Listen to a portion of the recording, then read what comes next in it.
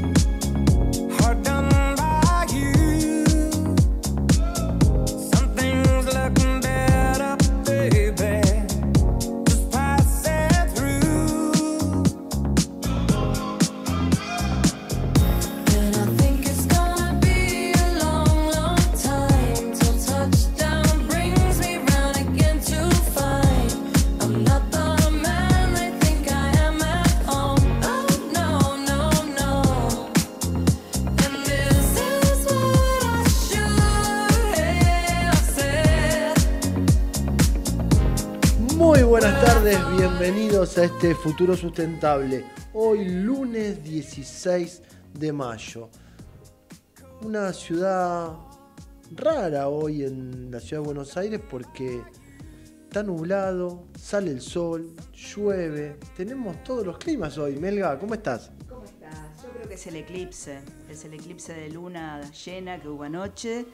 Que para los astrónomos es solo eso, pero para los astrólogos es eclipse de luna llena en Escorpio. Dije raro porque yo venía para la radio, hacía frío, estaba nublado, me agarró algún chaparrón. También. Y ahora abro la ventana del estudio de comedios y salió el sol en este mediodía en la ciudad de Buenos Aires. 14.1 la sensación térmica. Quien te habla, soy Pablo Gago y te voy a acompañar con toda la actualidad del medio ambiente y el deporte como lo hacemos todos los lunes hasta las 15 horas, acompañados de Sabrina Pont en Energía y Minería, La Melga en Tendencias, Claudia Villanueva, que sigue con una nanita, pero le mandamos un beso grande en Medio Ambiente, y por supuesto Patricia Marino en Sustentabilidad. El que hace posible que estemos al aire con toda la operación técnica, el gran Javier Martínez. No se tape, Martínez, usted es un fenómeno. Te podés comunicar con nosotros al 4325-2020 y nos podés seguir vía Twitter, arroba Sustentable, arroba Ecomedio 1220 y nos podés ver en YouTube en Ecomedios 1220. Ayer hubo eclipse de luna, la verdad, de luna llena, yo me lo De luna llena. Eh, yo vi un poco como una especie de arco iris, una cosa muy rara, pero tampoco tenía tiempo de ponerme a buscarla o a verlo, así que pasé.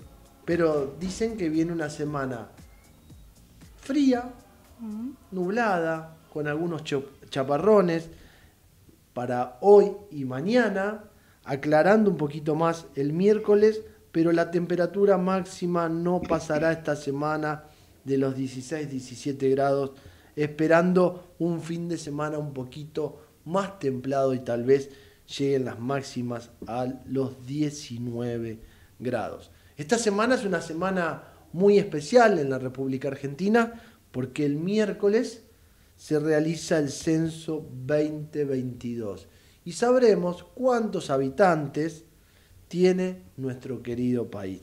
También nos va a ayudar muchos datos estadísticos a nivel sociedad, educación. Claro, ahora fíjate que al día siguiente, ya el jueves, vamos a saber supuestamente la cantidad que somos.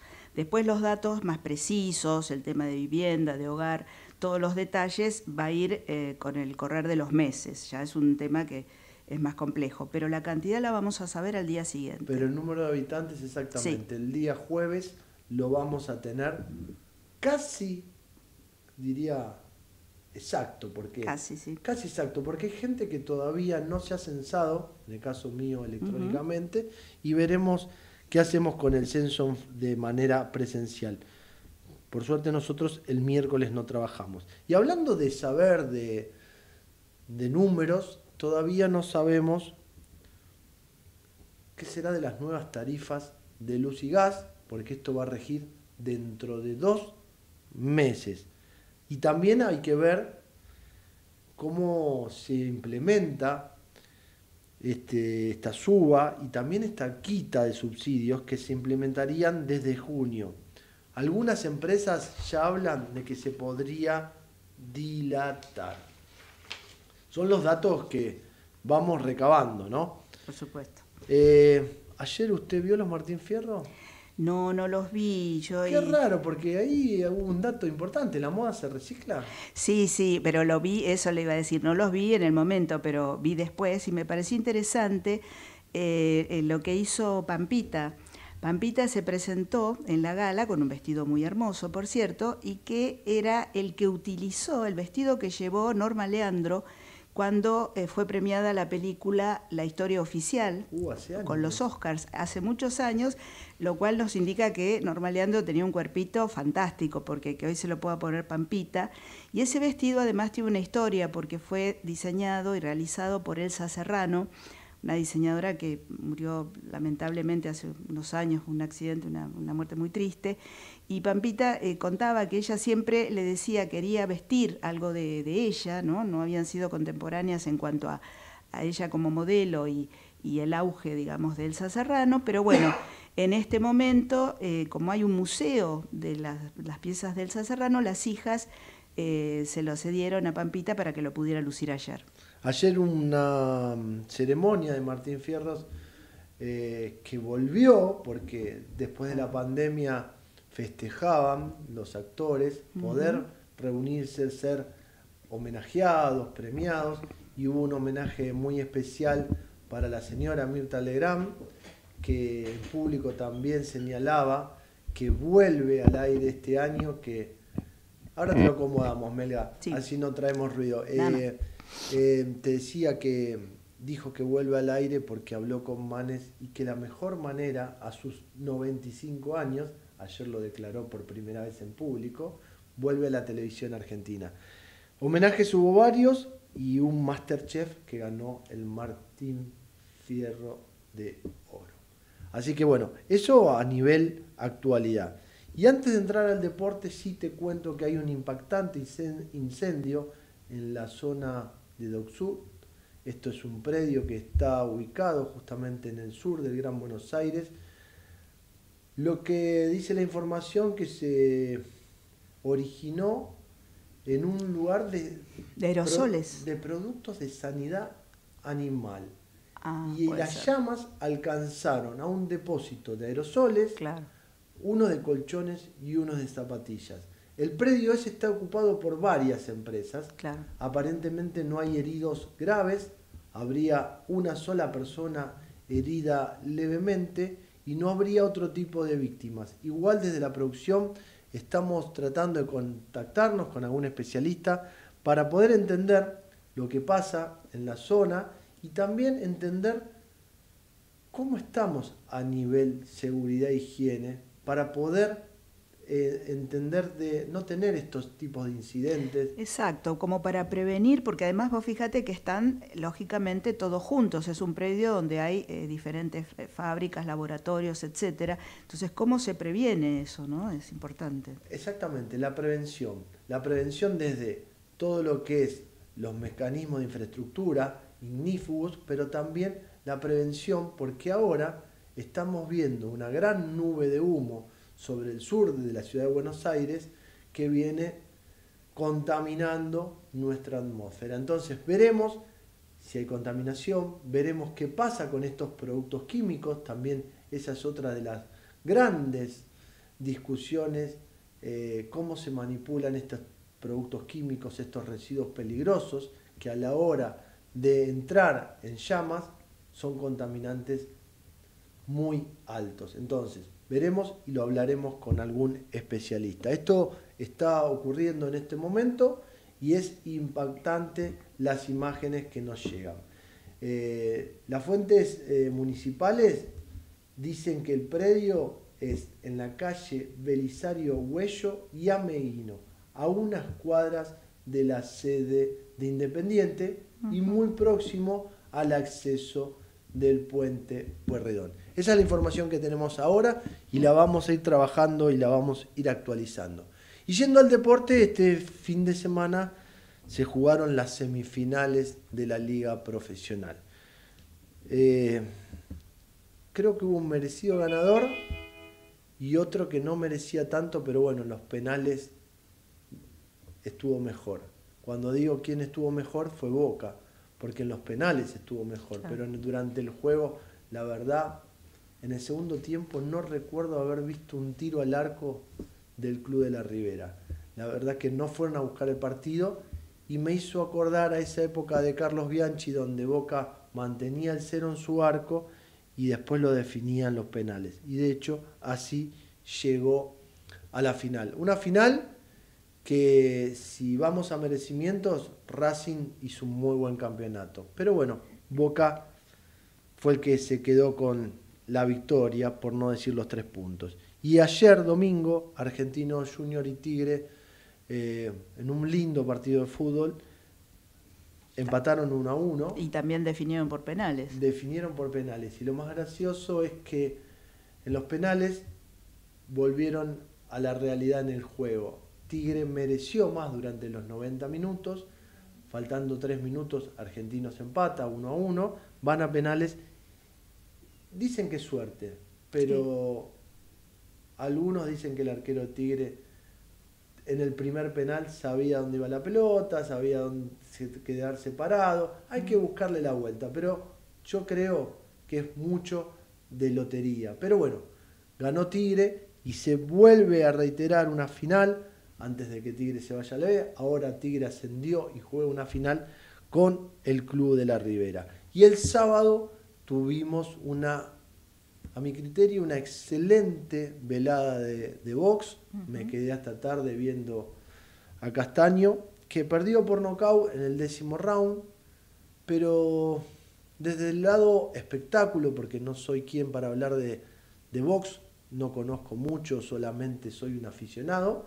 Eh, fue una pelea muy linda, fue una pelea que los dos se buscaron y un descuido, como dijo Castaño en el décimo round, lo deja sin título, lo deja sin unificar el título de los Super Welter, pero lo deja con una muy buena imagen. Así que veremos si habrá revancha. ¿Algo para agregar, Melga? ¿Te quedaste mirando? No, no, no, me quedé pensando que ese es un chico argentino, que él sentía como que le habían robado la primera... La primera pelea, sí, a ver cuando vos vas a, pelear con el favorito, con el mm. campeón, o vas de visitante, los especialistas de box dicen que tenés que noquear. Que las tarjetas nunca te van a favorecer. De hecho, el sábado la pelea era pareja y si tenías un poquito de criterio, tal vez Castaño un punto arriba estaba, dos puntos arriba. Pero él sabía que tenía que ir a noquear, porque la experiencia lo indicaba que ya le había pasado en la primera pelea. Y tal vez por ir a buscar fue este descuido, porque fue la primera vez que pierde por nocaut. Así que bueno. Bueno, eh, experiencia. Experiencia y un muy buen espectáculo y una buena imagen. Javi, llévatelo, vamos a una pequeña pausa y continuamos en este futuro sustentable. Llegó Quantium, el nuevo combustible premium de acción que nace de la autosuperación, del desafío de desarrollar una tecnología que limpia el motor al 100% en solo dos tanques, optimizando el consumo para que llegues cada vez más lejos, para obtener el máximo rendimiento en cada litro. Nuevo combustible premium Quantium, supera los límites. Encontralo en las estaciones Action Energy. Comparado con nuestra formulación anterior, de acuerdo a los ensayos ASTMD 6201 XUD 9 y DW10B estándares de la industria, el motor se limpiará completamente en dos tanques. Los resultados pueden variar según el vehículo y el uso. Si vas a tirar plásticos, cartones, vidrios, metales o papeles, llévalos siempre limpios y secos al contenedor verde o punto verde más cercano, o entregáselos en mano a un recuperador urbano. Para saber más, entra a buenosaires.gov.ar barra reciclables. Buenos Aires Ciudad. En Telecom queremos que todas las personas puedan hacer un uso positivo de la tecnología y descubrir las oportunidades del mundo digital.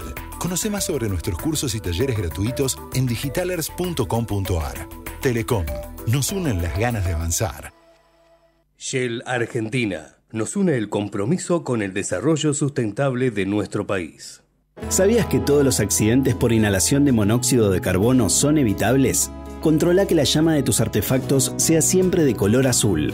Verifica que las rejillas cuenten con salida al exterior y que las ventilaciones no estén tapadas ni sucias. Y no olvides ventilar los ambientes de tu hogar todos los días. Metrogas, damos calor.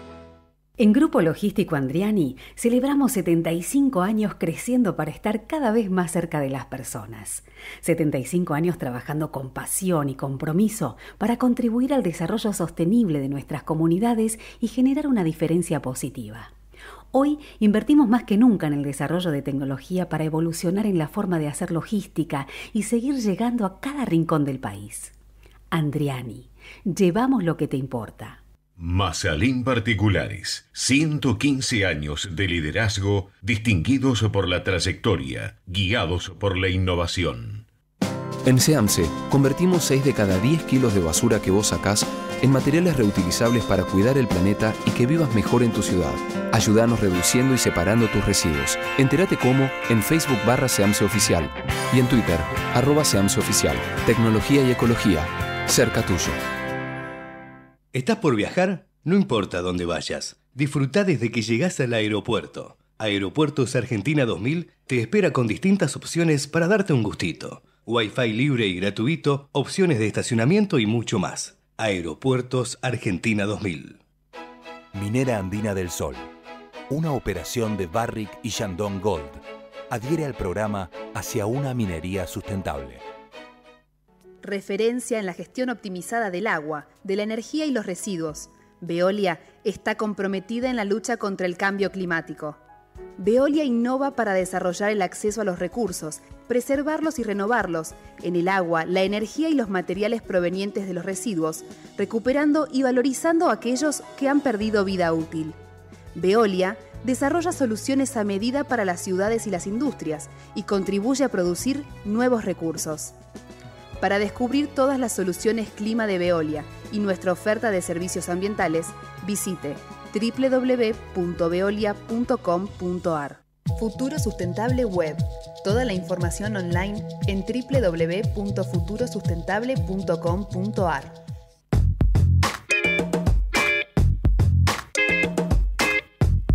...13.21 en la ciudad de Buenos Aires... ...14.1 la térmica empieza a desaparecer el solcito, vuelven las nubes y la posibilidad de chaparrones nuevamente está latente. Vamos a hablar, ahora vamos a cambiar un poquito el foco de la información, vamos a hablar un poco de lo que pasó en la actividad minera, entendiendo que festejaron el Día de la Minería y vamos a hablar del balance que hizo la Cámara Argentina de Empresarios Mineros. Si querés, Javi, conectame con Sabrina, le damos la bienvenida. Hola, Sabri, ¿cómo estás? Hola, Pablo. Hola, Pato. Buen día, ¿cómo están? Yo bien, te digo, a Pato en cualquier momento la sacamos del estudio. Le agarró un ataque de tos que está ah. terrible. bueno, eso hay que abrigarse, ¿viste? Cuando uno viene a la radio, ponerse la campera, cuidarse. Mira, de hecho, en este momento me va a abandonar porque le agarró un ataque de tos terrible. Así que bueno. Agüita, agüita, jengibre. Agüita y jengibre. Sabri, eh, hablaba mm, antes de presentarte que mm, hace unos días se festejó el Día de la Minería, hubo un fuerte apoyo del gobierno nacional a través del Ministerio de Desarrollo Productivo que está a cargo de Matías Culfas. Eh, ¿Cuáles son tus consideraciones? Bueno, fue un evento muy, muy, muy lindo, muy interesante. O sea, fue el primer evento minero grande, digamos, que organizaba la Cámara Minera eh, post pandemia. Así que bueno, había como una expectativa y un entusiasmo eh, muy, muy grande, ¿no? Para, para, para el encuentro.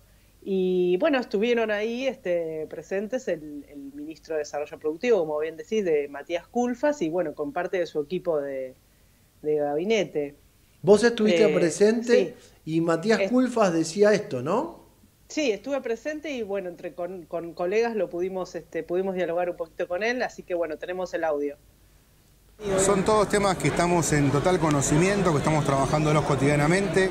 Algunos se han resuelto, otros están en vías de resolución, otros tenemos diferencias y seguiremos dialogando, pero quiero destacar esto. Bueno, en base a retenciones estamos en un escenario donde creemos que la minería tiene que hacer un aporte, como lo hacen todas las actividades, así que pensamos que estamos en un escenario adecuado y creo que, este, que, este, que la presión fiscal que hay en Argentina, bueno, es parecida a la de otros países, pero con algunas diferencias, pero insisto, creo que estamos en el camino correcto y los problemas que hay los vamos a resolver con el diálogo y el trabajo conjunto. Usted dijo, ministro, algo muy puntual que tiene que ver beneficios de la minería en el, en el país, ¿no? que no es ese 3% como se dice habitualmente. Es el 80% lo que queda en el país. De cada 100 dólares que una minera invierte, 80 quedan en el país, se pagan salarios, se pagan impuestos, desarrollan proveedores, así que claramente es mucho más de lo que Sobre todo en localidades tan alejadas de nuestro, de nuestro país, del interior. Sin duda. Eh, cinco de las 10 localidades que más crecieron en empleo son localidades mineras, así que sin duda hay un desarrollo enorme por hacer y que va a dar mucho bienestar a las provincias de Argentina. Hay una tarea importante que tiene que ver con la difusión en cuanto a los beneficios y desmitificar algunos cucos que hay. Estamos trabajando en eso con un sistema de información abierto, con una mesa de trabajo, así que bueno, vamos a avanzar en esa dirección. Muchas gracias. Y era la palabra de Matías Culfas. Y ahí se escuchaba a nuestra querida Sabrina Pont que le hacías hincapié en el tema retenciones, ¿no, Sabri? Claro, porque yo, eh, yo eh, bueno, en, el inicio le pregunto por las demandas, porque bueno, en una de la, en, los discursos de, apertura, el presidente de la Cámara Minera de Empresarios Mineros, Franco Miniaco, hizo hincapié en eso, ¿no? En la necesidad de revisar el tema de retenciones. Eh, revisar también en la cuestión del acceso al mercado de cambios, porque bueno, se está, hay algunas trabas y algunas dificultades para lo que son los eh, servicios importados que necesita la minería para, para producir, ¿no? Como, bueno, hay, hay eh, eh, insumos que son de afuera, o sea, si bien gran parte de, de los proveedores son este, están en el mercado interno, hay una pequeña cantidad, digamos, de, insumos que vienen de afuera. Y bueno, hay algunas trabas en relación al tema del mercado cambiario para, para poder este, contar con los dólares para comprar esos insumos. Y bueno, eso era lo que decía Culfas, ¿no? Se está trabajando, se está hablando, eh, la apertura al diálogo es importante. Y con retenciones, bueno, fue claro, o sea, la minería tiene que hacer su aporte, dijo. O sea, no es que está pensando en, en en eliminarlas o en bajarlas, o sea, en realidad él sigue firme con esa postura de mantener las retenciones. Bueno, la, Cámara nunca pierde oportunidad de recordar que, bueno, es un, es un impuesto que, que eh, eh, va para atrás, digamos, en, en, cuanto a lo que es este la, atracción de nuevas No ayuda a que los inversores vean el mercado argentino como uno de los favoritos. Entonces, ahí es donde está la traba, donde está Aparte, ¿sabes qué? Se, hizo mucho hincapié en todo, en toda la jornada, sobre lo que podría crecer en, en, ingreso de divisas por exportaciones mineras. O sea, se está pensando que de acá a 10 años las, se puede llegar a, generar ingreso de divisas por exportación de más de 10 mil millones de dólares por la minería. Hoy estamos llegando a 3 mil millones. O sea, estamos hablando de, un incremento importante de acuerdo a las inversiones que pueden llegar y, el potencial minero. Así que bueno, es interesante que si, la minería está puesta en foco por lo que puede generar eh, con las exportaciones, eh, que bueno, que se atiendan estas cuestiones que tienen que ver con eso, ¿no? Con los impuestos a las exportaciones. Así que bueno, es este un poco el debate que, está en agenda y bueno, sí, es, interesante, digamos, que se plantee. Es el debate que está en agenda y es el debate que la industria en general necesita también, ¿no? Para reactivar este pospandemia. Eh, Exactamente. Decimos que Culfas le da un fuerte apoyo al sector, pero también el sector necesita señales, ¿no? Claro, de hecho remarca, ¿no? O sea, que un 80% de lo que de lo que produce una mina queda en el país, ¿no? O sea, lo, que se invierte en una mina de 100 dólares, el 80, 80 quedan en el país. O sea, es importante eh, el, desarrollo y el ingreso en ese, en ese sentido. Y también remarcó que eh, este último año las cinco localidades que más crecieron en empleo a nivel nacional son mineras, son localidades donde hay minería. Eh, están en, Santa Cruz, en, San Juan, o sea, y en, el norte también. Es interesante esto. En empleo formal, ¿no es cierto, Sabrina? Empleo formal, que ¿Cómo? En empleo formal. o sea, tiene un formal. empleo formal y, son está entre los sueldos más altos también, ¿no? Abajo de los hidrocarburos, pero ahí no más. Eh, es, interesante esto también de, marcar. Y bueno, en, en, zonas alejadas de los centros urbanos, ¿no? Donde quizás este, a veces es más necesario generar puestos de trabajo. Sabri, también estuvo Franco Miñaco, presidente de CAEN. Hablamos con él. Hablaste con él porque el auditorio estaba completo y tuviste la posibilidad de hablar con Franco Miñaco y decía esto. inesperadas podrían excluir a las mineras para que, que tiene que hacer fuertes inversiones este año? O sea, lo, mencionaba la, la Secretaría de Minería, por una de, las declaraciones vertidas que creía que la actividad minera iba a estar excluida. O sea, no vemos un impacto tanto en, los proyectos de inversión que están haciendo nuevas inversiones, sino en los proyectos que están en operación, que están comercializando sus productos, que están teniendo eh, rentabilidad como cualquier empresa en el país.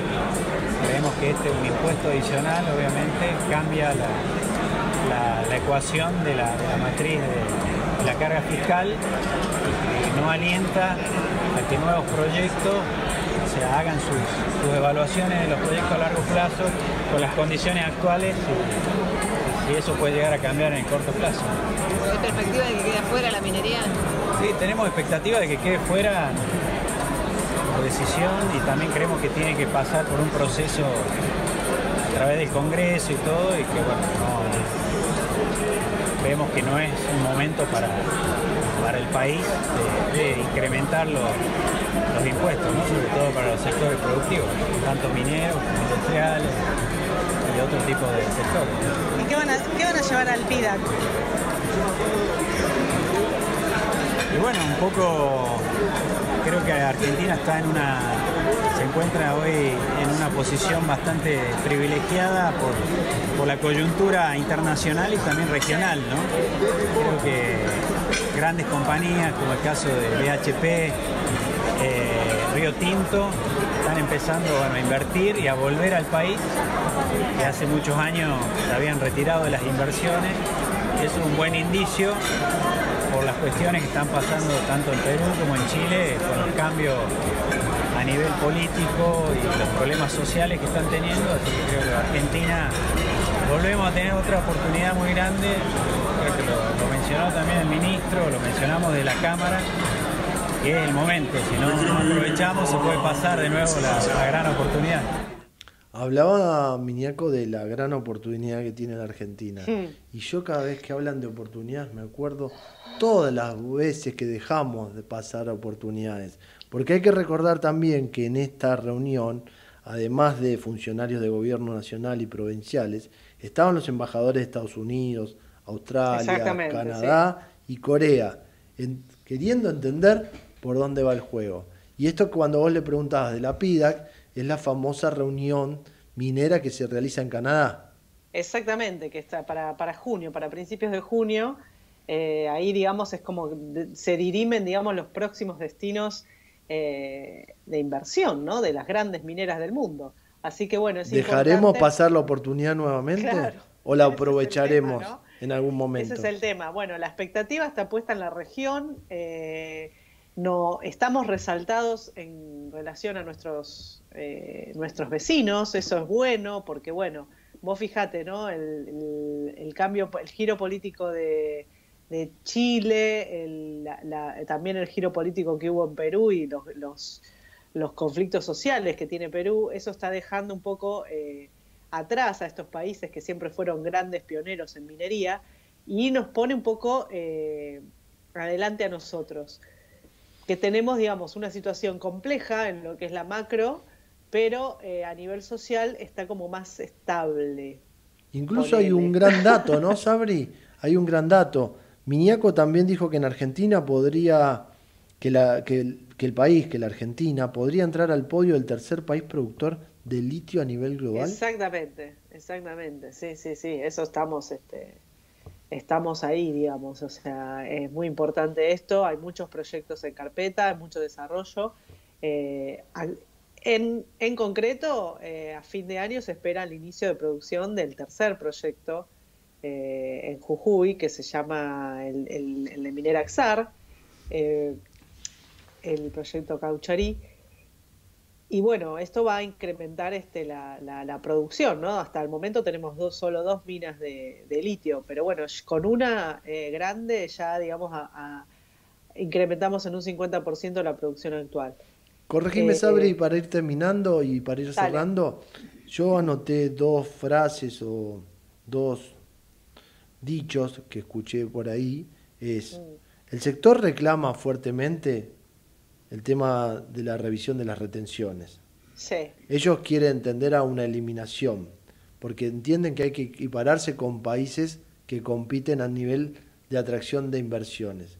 Eso por un lado. Y lo resumen, y lo dijo Miniaco, aseguró que Argentina tiene que ser más competitiva. Y se refiere a esto. Exactamente, claro, exactamente. Sí, sí, sí, tiene que ver con esto, tiene que ver con también hay un, tema muy puntual que, que, se relaciona con lo que es la ley de inversiones mineras vigente, en donde no está, digamos, establecido eh, el tema de las retenciones. Muchos proyectos eh, en, un momento habían factibilizado sin tener en cuenta este, este impuesto, después se aplicó, o sea, esto generó algunas complicaciones y generó un, un clima, digamos, de, aversión para la inversión, ¿no? Eh, porque bueno, o sea, si uno... El tema es también la certidumbre, ¿no? Tener la certeza de que no va a haber nuevas, nuevos impuestos hacia adelante. Eso también en un momento Miñeco habla de lo que es la renta inesperada, ¿no? Que todavía se está por ver qué va a pasar, pero bueno, se habló ya desde Secretaría que la minería estaría excluida de esto. O sea, es interesante, ¿no? Ver cómo se está trabajando en ese sentido, porque, bueno, saben perfectamente que ahuyenta inversión. Eh, son cosas que cuando uno factibiliza un proyecto minero está, pensando en, en 10 a 20 años de trabajo. Entonces es como que si en el medio hay cambios en las reglas, eh, se complica y a veces termina siendo perjudicial incluso para, para, el país, porque a veces un proyecto minero que tiene una vida útil de 20 años, porque genera cierta rentabilidad, eh, pasa a tener una vida útil de 15 o de 11 porque, bueno, tiene que pagar más impuestos. Sabri, tengo que ir al corte, pero cortito. ¿Será la mesa de minería abierta a la comunidad, la famosa MEMAC, la herramienta que pueda destrabar y que pueda hacerle entender las potencialidades, eh, de, perdón, potencialidades y los riesgos que tiene la industria a la hora de traer proyectos? Y bueno, está, está la, es la gran apuesta del ministro Culfas. O sea, está todo puesto, digamos, este, concentrado en ese, en ese espacio. Entonces lo eh, resumo. El sector depende hoy de la mesa de minería abierta a la comunidad. Depende de eso en cuanto a lo que es licencia social y en cuanto a lo que es este la, la, percepción que tiene la sociedad de la minería, porque eso también es importante, es otro de los factores que influye para, para el negocio. Está claro que no hay minería si no hay cuidado del ambiente y si no, hay eh, licencia social. Eh, desde ya, desde ya, es así. Gracias, Abri. Así que bueno. Te mando un beso grande y nos hablamos la semana que viene. Nos vemos, Pablo, un beso a todos. Buena semana. Y era la querida Sabrina Pont que estuvo con la cobertura del Día de la Minería y nos traía un pantallazo de la actualidad y de lo que el sector reclama. Pequeña pausa y seguimos en este futuro sustentable. Ecomedios.com AM1220. Estamos con vos. Estamos en vos. Estamos llenos de historias verticales. Gira tu celular en Catamarca tenés algo distinto para contar. Girá, girá, no te pierdas de nada. Vení a contar una historia distinta.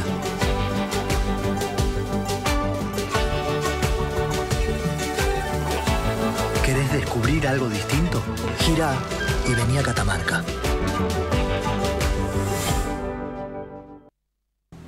La Posada Morada Dos Ventos te espera en Pipa, la mejor playa del nordeste de Brasil. Única por su bahía con delfines. 12 exclusivos departamentos y tres piscinas circulares en medio de un jardín tropical. Podés venir con cualquiera de las vacunas aplicadas en Argentina. www.moradadosventos.com Morada Dos Ventos, Pipa, el primer lugar cuando decidas viajar. Informate en ecomedios.com. Seguinos en TikTok, arroba ecomedios 1220.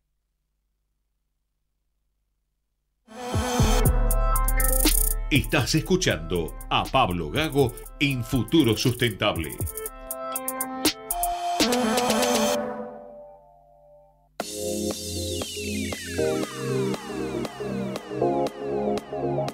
Seguimos en este futuro sustentable y mañana es el Día Internacional del Reciclado. Y cuando uno empieza a mirar lo que pasa en el mundo, se pregunta si todavía falta concientizar, falta trabajar en materias de residuos, en limpieza de los océanos, porque hay mucha contaminación de plásticos. Y de este tema vamos a hablar con Patricia Marino. Patito, muy buenas tardes, ¿cómo estás?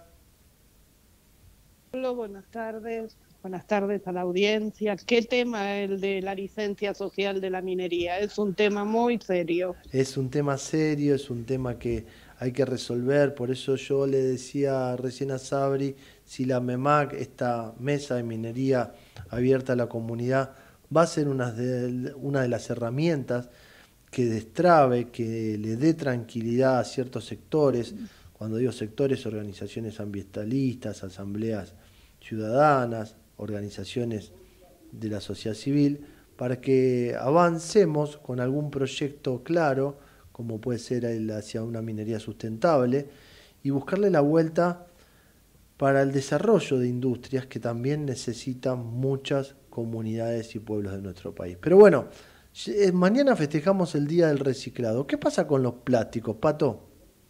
Ay, Pablo, el reciclado es, hoy por hoy podemos decir que es un fracaso, no, no alcanzamos al 25% mundial de, reciclado y sobre todo con el tema de los plásticos, ¿no? Y, y, lo interesante es que la semana pasada se hizo una publicación en el New York Times acerca de estas famosas islas de plástico que están flotando en los océanos.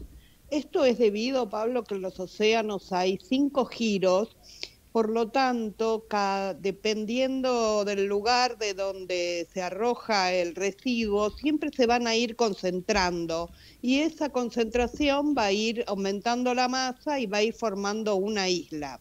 Te cuento que la más grande isla que se encuentra ahora eh, es una que está ubicada entre Hawái y California, que tiene el tamaño de aproximadamente el territorio de México.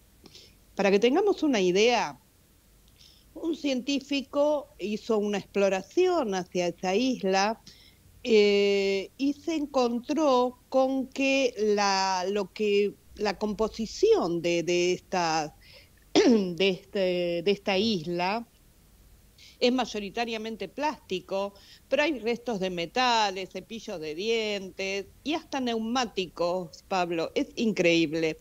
Se supone por el tamaño de la isla que ahí hay concentrado aproximadamente 79 mil toneladas de basura. Y lo que, lo que se, de alguna manera se proyecta como estudio es que el 80% de esa basura que va a parar al mar se genera, es de origen terrestre sea, no podemos pensar que son, eh, que son los residuos que se generan por la, por la navegación y demás. Es de origen terrestre.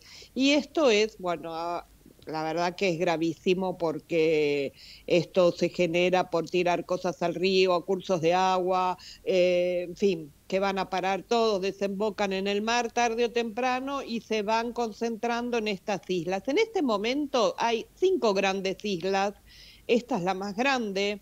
Eh, después tenemos en una última recién descubierta que también está en el Pacífico, que está entre Chile y Perú, esta es la más pequeña. Después tenemos en el Océano Índico y en el Océano, Océano Atlántico. O sea que prácticamente, Pablo, vamos a tener islas de basura por todos lados. ¿Cuál fue el descubrimiento? De este, de este científico que ya hizo la publicación, pero todavía no fue eh, revisada por sus pares, pero no creo que se encuentren ningún tipo de, de, objeciones porque se han tomado muestras. Y lo que encontraron, Pablo, fue vida, vida en estas islas, una vida microscópica a un, a un parecido a un plancton que se llama Neuston. Este Neuston no es muy, no está muy estudiado porque normalmente es, es una población que se encuentra eh, aguas profundas y normalmente las expediciones marítimas son muy costosas, por lo tanto este tipo de microorganismos no ha sido eh, muy estudiado. Pero Pato, te hago una interrupción porque hay una persona sí. que no puede con su genio, está de licencia. Sí, sí, son siete. Yo, yo Ah, ya te, ya te lo corrigió. Más grandes. Ya te lo corrigió Claudia Villanueva. Vamos a contarle sí, a la audiencia que Claudita tiene licencia. Está atenta, que, está atenta. que Ella siempre colabora. La tenemos bueno, pachucha. Eh, que no, le... yo mencioné las cinco más grandes. Sí, son siete en realidad. Eh, pero de estas siete, eh, las las dos del Pacífico, la del Atlántico y en el Océano Índico son las que son más grandes. Y este hallazgo, te hago una pregunta, Pato, para seguir con el tema. Este hallazgo, ¿qué implica, eh, implicancias tiene con el tema del impacto ambiental, por ejemplo? Bueno, acá, acá se presenta un gran dilema que es que la vida siempre trata de jugarle, de ganarle a, a, a la actividad eh, del, del hombre, ¿no? Porque aparentemente lo que están diciendo con esta bueno, este descubrimiento, ¿qué, ¿qué, es lo que manifiesta? Tomaron muestras fuera de la isla y muestras dentro de la isla. Lo que se detectó eh, por, a nivel de, de, cantidad, en la cuantificación, es que la vida, esta vida de este Neustom, que son unos seres microscópicos hermosos, multicolores, eh, que son carabelas, dragones, violetas, caracoles, bueno, en fin, pero son microscópicos. La concentración de estos, de estos microorganismos es mucho mayor dentro de la isla que fuera de la isla. Lo que ellos suponen es que estos microorganismos están como metabolizando de alguna manera la composición de estos residuos y por lo tanto están diciendo, momento, paremos con retirar el plástico del océano porque podemos poner en peligro la actividad de estos microorganismos. Esto es muy difícil de, eh, bueno, de, terminar de dar una opinión si realmente eh, es así o no es así. Lo cierto, Pablo, es que, eh, por ejemplo, acá en la Argentina, segundos se genera una tonelada de basura cada dos segundos.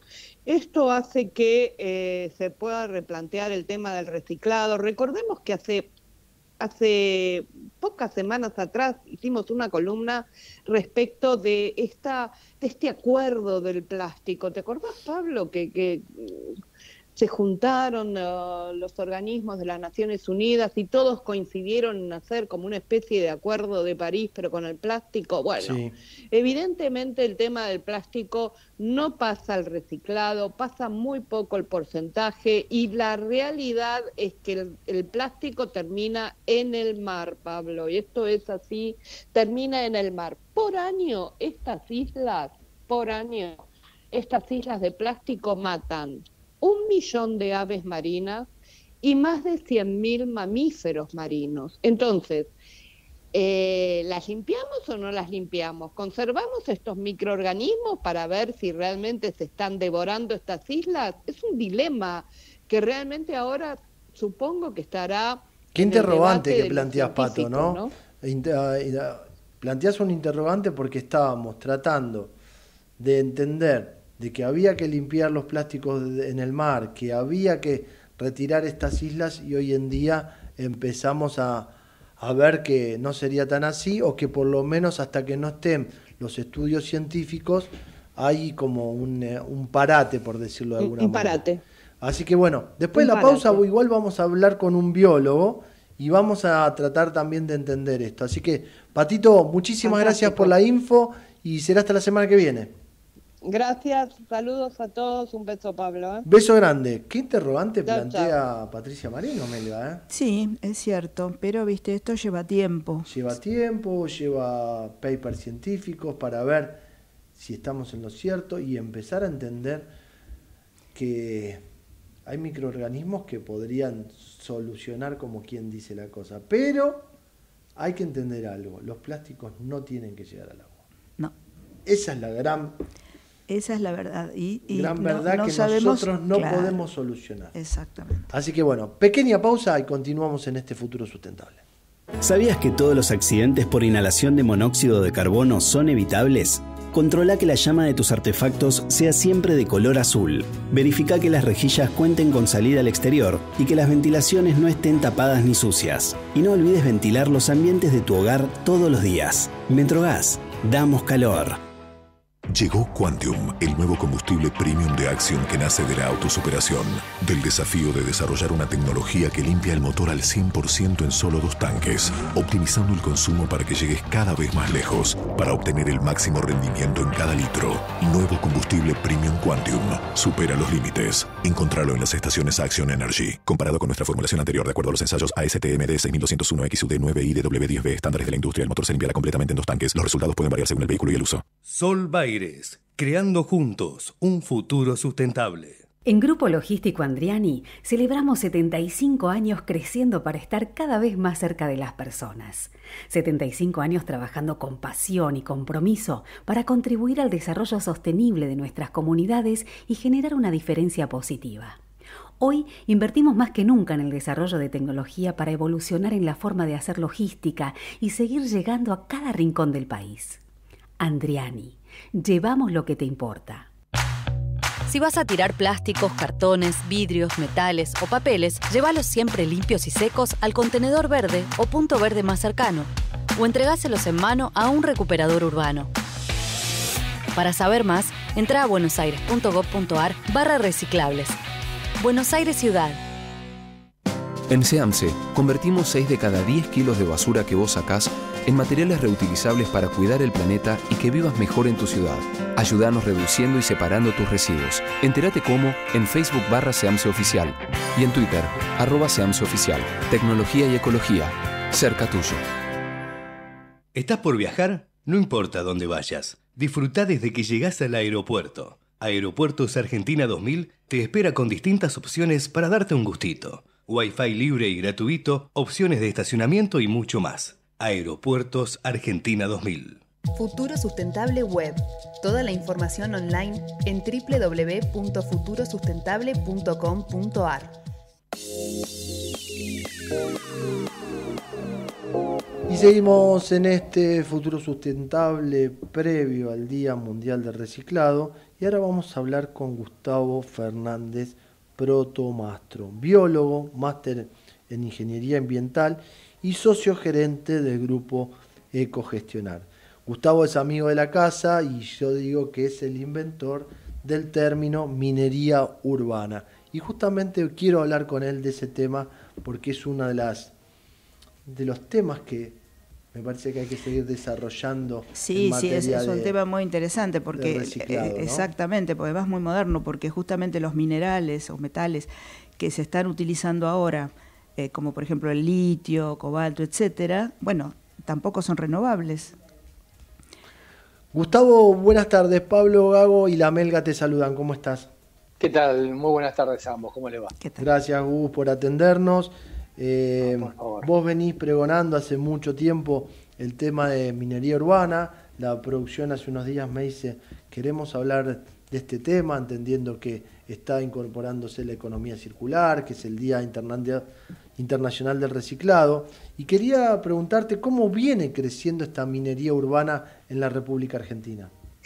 Mira, la verdad que bastante bien. O sea, hay toda una infraestructura montada de recuperadores urbanos que, como pueden recolectar cartón y plásticos, también pueden recuperar distintos aparatos eléctricos y, electrónicos que todos desechamos, algunos porque nos gusta ahora que están en promoción en 12 cuotas un nuevo televisor, una nueva licuadora, cualquier nuevo electrodoméstico y a veces esos aparatos siguen funcionando pero hemos decidido el final de su ciclo de vida útil eh, o también nos puede haber pasado que se rompieron.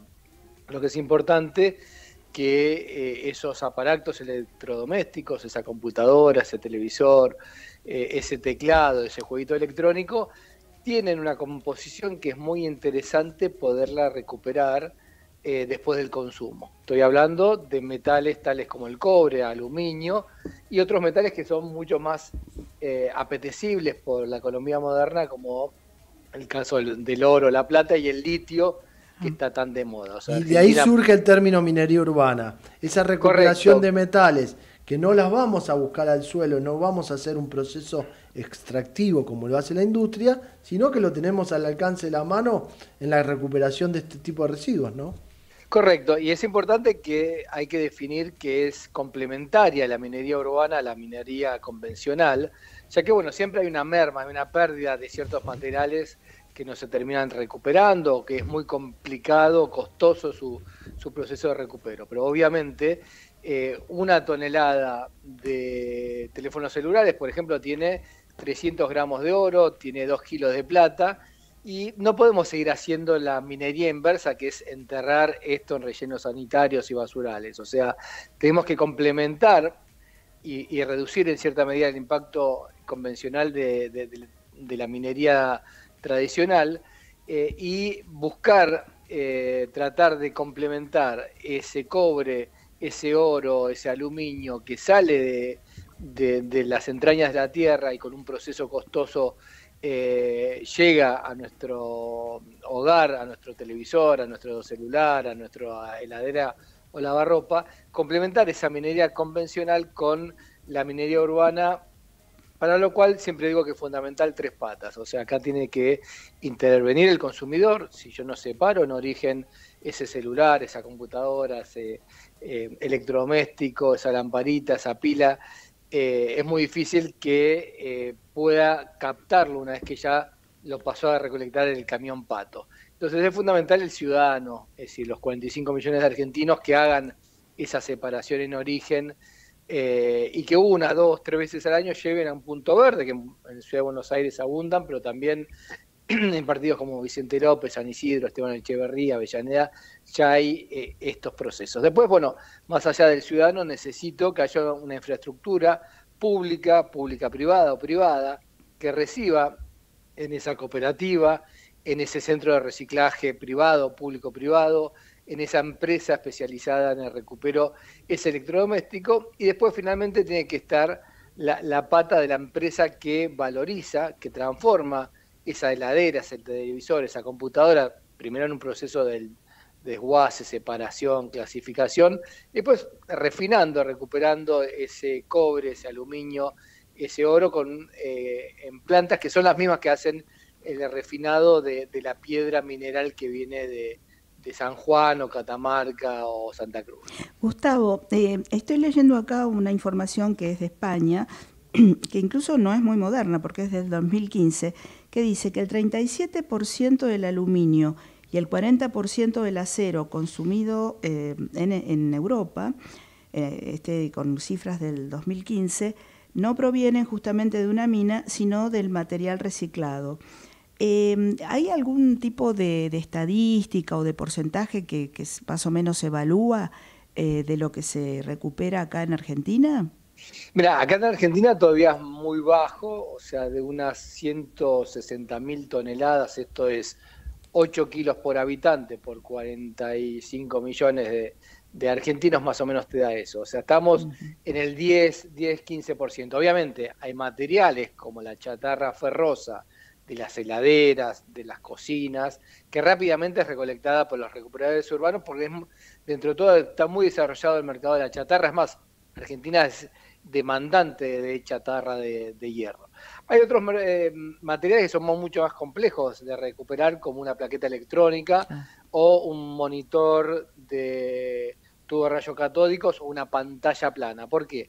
Porque ahí hay una sopa de, de minerales, acordémonos de la famosa tabla periódica de Mendeleev, el secundario, donde había un montón de elementos, donde, bueno, además del hierro, el cobre y el aluminio que conocemos todos, hay más de 100 elementos y muchos de esos están presentes, están presentes en la pantalla, materiales como el iridio, el galio, el germanio, que son materiales muy raros, eh, que están muy poco en la superficie de la Tierra, pero bueno, tienen ciertas propiedades que los hacen muy valiosos para esta economía moderna, más allá del litio que hoy está de moda, y bueno, el, oro y la plata que están en los aparatos electrónicos, hay una sopa de otros materiales que necesito tecnologías muy complejas para volverlos a hacer un lingote de un material apto comercial para que Sony, Samsung o, Lenovo los vuelvan a insertar en la materia prima de sus aparatos electrónicos. ¿no? Gustavo, para ir cerrando, estamos hablando del litio como es el mineral hoy estrella y el que nos posicionaría en el mundo a nivel industria minera, pero también la UNESCO alerta que a algunos minerales le quedan unos 20 años. Y la pregunta es, ¿qué ocurrirá con el litio si aumenta significativamente la producción de vehículos eléctricos, no? Bueno, eh, obviamente eh, vivimos en una nave espacial Tierra, tenemos que tener conciencia de que eh, no es un planeta infinito y los recursos son limitados. Por eso, históricamente, los ambientalistas y ecologistas usan ese término de la nave espacial Tierra, donde nos imaginamos a ese piloto que, que tiene recursos limitados, o sea, que no puede generar residuos más allá de los que la, nave espacial Tierra puede aguantar, ni obtener más materiales de lo que están dentro de su nave. Entonces, tenemos que ser conscientes de estas cuestiones de la economía circular y de reciclado. Hablamos recién, hoy en Argentina, en economía circular de los RAE, los residuos de aparatos electrónicos, solo estamos en el, en el 10%. Tenemos que ir a 70, 80, 90, llegar a la basura cero, al 100% reciclado y es fundamental tener conciencia que hay ciertos materiales que cuando eh, los usamos en, demasía y no los reciclamos, se agotan. Y eso hace que eh, no, no, solo la batería vale por el litio, sino que están las tierras raras como columbio y tantalio, que el hombre viene de, raro porque está muy, muy, con muy poca distribución en la tierra, y a la medida que se acaban, lamentablemente tenemos que eh, depender de 100% reciclado. Así que hay que hacer una minería sustentable y más minería urbana. Gustavo, muchísimas gracias por el contacto. ¿eh? No, gracias y que tengan muy buen día de reciclado mañana. Gracias, igualmente. Chao, chao. Y era Gustavo Fernández, protomastro, biólogo, máster en ingeniería ambiental y socio del grupo Ecogestionar. La minería urbana tiene que seguir creciendo Muchísimo potencial tiene. Muchísimo potencial también tiene, pero tiene que acompañar a la otra minería porque los minerales en algún momento se, terminan. Pequeña pausa y continuamos en este futuro sustentable. Desde Buenos Aires, transmite LRI 224, AM 1220, Ecomedios. Econoticias. Toda la información al instante. Muchas gracias, Oscar Parrilli. La deuda la tienen que pagar los que se fugaron y los que evadieron. El senador dijo que tiene expectativas de que el proyecto que propone la creación de un fondo para pagar la deuda del Fondo Monetario con dinero del exterior no declarado y que ya fue aprobado en el Senado se imponga y avance en la Cámara de Diputados. Declaraciones de Baradel Kisilov valora a los docentes. En la antítesis de lo que fue el gobierno de Vidal, el secretario general de SUTEO aseguró que la ex gobernadora de Cambiemos no les abría la puerta de la y que apenas tuvieron una reunión en cuatro años. Temperatura 16 grados, día frío, el cielo parcialmente nublado. Luciana Giordano, Econoticias. La mejor información pasó por Econoticias, ecomedios.com. Tengo algo excelente para recomendarte. MGN Salud es una empresa de medicina que te da más servicios, más beneficios y la mejor atención. Anota, llama a MGN Salud al 4629-3351. Podés asociarte ahora y aprovechar tus aportes. Llama al 4629-3351 y asociate a MGN Salud. MGN Salud llegó para cuidarte. Superintendencia de Servicios de Salud www.sssalud.gov.ar 0800 222 72583. RENEM número 117924. Millones de ladrillos se transforman en viviendas. Toneladas de hormigón se transforman en mejores rutas. Miles de cañerías se transforman en agua potable. Cientos de máquinas se transforman en obras que mejoran nuestros ríos. Renace la provincia con obras que transforman. Gobierno de la provincia de Buenos Aires. Cuando te quieran hacer creer que la única solución para nuestro talento es irse afuera, deciles que un profesor marplatense con un crédito del Estado construyó el primer pico satélite argentino que hoy está en el espacio. No nos van a desanimar. Este país y su gente pueden lograr lo que se propongan. Argentina Presidencia. Se te durmió la beba, así que aprovecha. Césate, hacelo rapidito, rápido, que se va a levantar. Césate, césate ya, césate, césate ya. Censa a todas las personas que viven en tu hogar en censo.gov.ar y el día del censo solo tenés que mostrarle el comprobante a tu censista. Censo 2022. Reconocernos. INDEC, Argentina Presidencia. Informate en ecomedios.com. Seguinos en Twitter, arroba ecomedios 1220. Estás escuchando a Pablo Gago en Futuro Sustentable.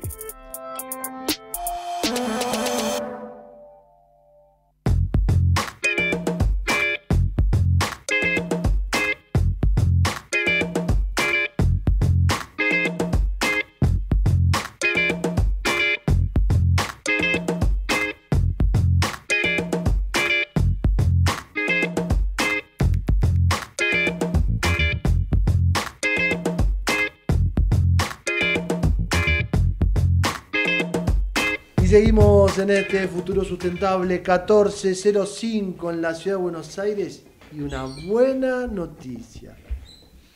Parece que la lluvia, los chaparrones pasaron, salió el sol y aumentó levemente la temperatura 15.1. Igual en el estudio sí que aumentó la temperatura porque vino un amigo de la casa, Roberto Dabusti, representando Action Energy en la parte de sustentabilidad. ¿Lo digo bien? ¿Cuál es el cargo, Robert? Buenas Sí, tardes. exacto. ¿Qué tal? Muy buenas tardes, Pablo. ¿Cómo andás? Todo bien. Muy bien. Sí, gerente de responsabilidad social.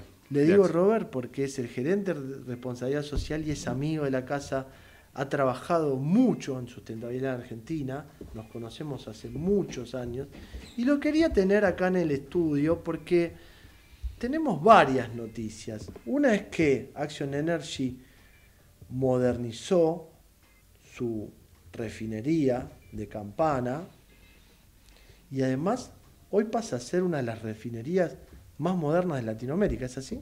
Es así, Pablo, sí. Como vos decís, bueno, el año pasado se inauguró la nueva refinería, que es la más antigua de Sudamérica, pero la más moderna.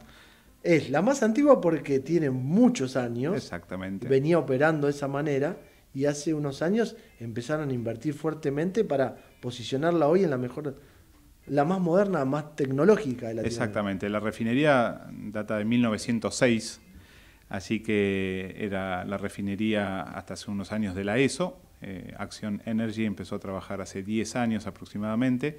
Y bueno, esta refinería eh, vivió una modernización en los últimos 2 barra 3 años que implicó una inversión de 1.500 millones de dólares.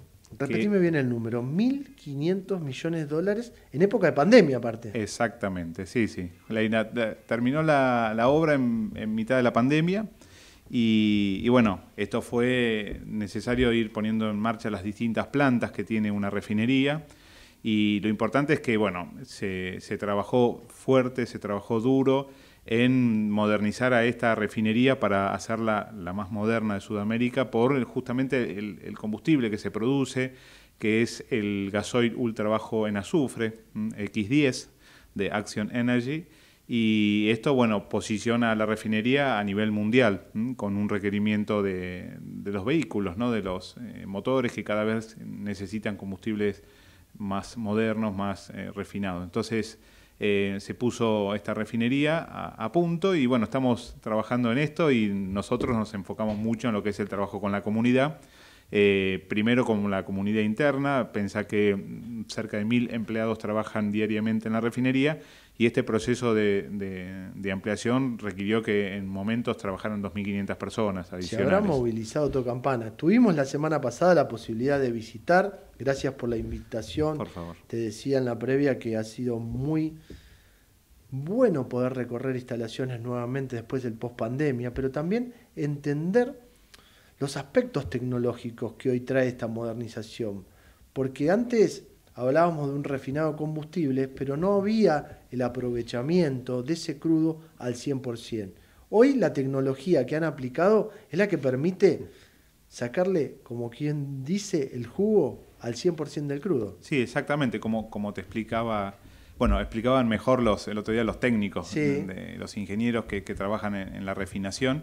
Esta... Eh, esta obra que se hizo permite posicionar a la refinería y al trabajo y a los combustibles que se producen en los combustibles de primer nivel y esto que vos decís, la utilización de toda la cadena de productos y subproductos que muchas veces quedan en el camino hasta llegar a ese combustible. Para que la gente entienda rápido, hay mm, en el proceso de destilación, justamente en la destilería, los, los, combustibles livianos son los que más fácil se procesan y son los combustibles que llegan a los aviones, a las estaciones de servicio. Pero quedaba ese crudo pesado que antes iba a coque o no, o no iba como residuo. Y hoy la tecnología permite reingresarlos a sistemas para que se vuelvan a procesar y que el combustible, digamos, que ese residuo sea combustible. Exactamente, sí, sí, eh, lo escuchaste muy bien, eh, lo aprendiste bien, es así se utiliza y se reutiliza muchas veces aquello que queda en el camino para generar nuevos combustibles, a veces más pesados. Pero bueno, lo importante es esto, que el trabajo que se realizó y lo que se está produciendo a nivel eh, internacional, porque este combustible también se exporta. Para que la gente entienda, la refinería de Campana en el mercado, ¿cuánto significa a nivel volumen de producción? A nivel Argentina y más o menos un 15, un 17% del mercado eh, local. Es muchísimo. Y sí, sí, capaz suena poco si lo ves en el total, pero es muchísimo pensando que es una única refinería, una refinería que se produce el combustible en Campana, de allí se distribuye localmente en camión, pero después la gran mayoría sale en barco hacia San Lorenzo, provincia de Santa Fe, de allí se distribuye al norte, después a Galván, Bahía Blanca, donde se distribuye al sur de la provincia de Buenos Aires y Patagonia Norte, y después a Caleta Olivia y de allí se distribuye a todo lo que es Patagonia. Entonces ese es el trabajo que nosotros hacemos y después tenés las 640 estaciones de servicio distribuidas en las 23 barra 24 provincias tomando Buenos Aires. Roberto, para entender un poco ya y entrando en el tema principal, después de la pausa vamos a ir al tema de estaciones sustentables, pero ¿cuántas estaciones de servicio hoy de bandera tiene Action Energy? Action Energy tiene 640 estaciones de servicio Después tiene puntos de distribución en los aeropuertos, como Aeroparque, Seiza, Aeropuerto de, Córdoba. Después está Acción Agro, que son otros puntos dedicados eh, y donde se vende eh, a mayoristas, digamos. Y, bueno, esos son los puntos de distribución y de venta de combustible. Después tenemos todo lo que son las tiendas, que es un poco lo que también vamos a hablar eh, seguramente en el programa este y en el proyecto de estaciones sustentables que estamos desarrollando dentro de la compañía. ¿Todas las estaciones son propias o hay terciarizadas? No, no, la mayoría son terciarizadas, son de estacioneros que se les llama. El 10% son nuestras, eh, son las CORS que le llamamos. 60 eh, más o menos son propias, que están distribuidas en Capital, Gran Buenos Aires, Rosario, Santa Fe y Córdoba. Ahí están las propias. Después, las de los terceros que tienen la franquicia, que tienen la marca de acción, están en todo el país y va creciendo día a día eh, la distribución de, las estaciones en, el, todo el territorio nacional. Cuando hablamos de todo territorio, todas las provincias. Todas las provincias, sí, sí. Por eso te explicaba la distribución que se hace en barco, muchas veces eh, Caleta Olivia, bueno, de ahí llegas hasta, hasta Ushuaia, hasta Tierra del Fuego. Después de la pausa vamos a hablar de estaciones sustentables y me vas a contar la transformación que están haciendo estas estaciones de servicio dentro de la comunidad y qué valor también le dan a la comunidad en el día a día. Así que pequeña pausa y continuamos con Roberto D'Agusti de Acción Energy. ¿Sabías que todos los accidentes por inhalación de monóxido de carbono son evitables? Controla que la llama de tus artefactos sea siempre de color azul. Verifica que las rejillas cuenten con salida al exterior y que las ventilaciones no estén tapadas ni sucias. Y no olvides ventilar los ambientes de tu hogar todos los días. Metrogas, damos calor. Llegó Quantium, el nuevo combustible premium de acción que nace de la autosuperación, del desafío de desarrollar una tecnología que limpia el motor al 100% en solo dos tanques, optimizando el consumo para que llegues cada vez más lejos, para obtener el máximo rendimiento en cada litro. Nuevo combustible premium Quantium, supera los límites. Encontralo en las estaciones Action Energy. Comparado con nuestra formulación anterior, de acuerdo a los ensayos ASTMD 6201 XUD 9 y DW10B estándares de la industria, el motor se limpiará completamente en dos tanques. Los resultados pueden variar según el vehículo y el uso. Sol Creando juntos un futuro sustentable. Mazalín Particulares, 115 años de liderazgo distinguidos por la trayectoria, guiados por la innovación. En Telecom queremos que todas las personas puedan hacer un uso positivo de la tecnología y descubrir las oportunidades del mundo digital. Conoce más sobre nuestros cursos y talleres gratuitos en digitalers.com.ar. Telecom, nos unen las ganas de avanzar. En SEAMSE, convertimos 6 de cada 10 kilos de basura que vos sacás en materiales reutilizables para cuidar el planeta y que vivas mejor en tu ciudad.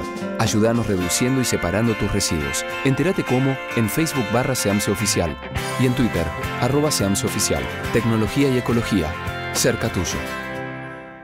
¿Estás por viajar? No importa dónde vayas. Disfruta desde que llegás al aeropuerto. Aeropuertos Argentina 2000 te espera con distintas opciones para darte un gustito. Wi-Fi libre y gratuito, opciones de estacionamiento y mucho más. Aeropuertos Argentina 2000. Revista Futuro Sustentable, el primer medio gráfico de sustentabilidad en la Argentina. Suscríbete en www.futurosustentable.com.ar.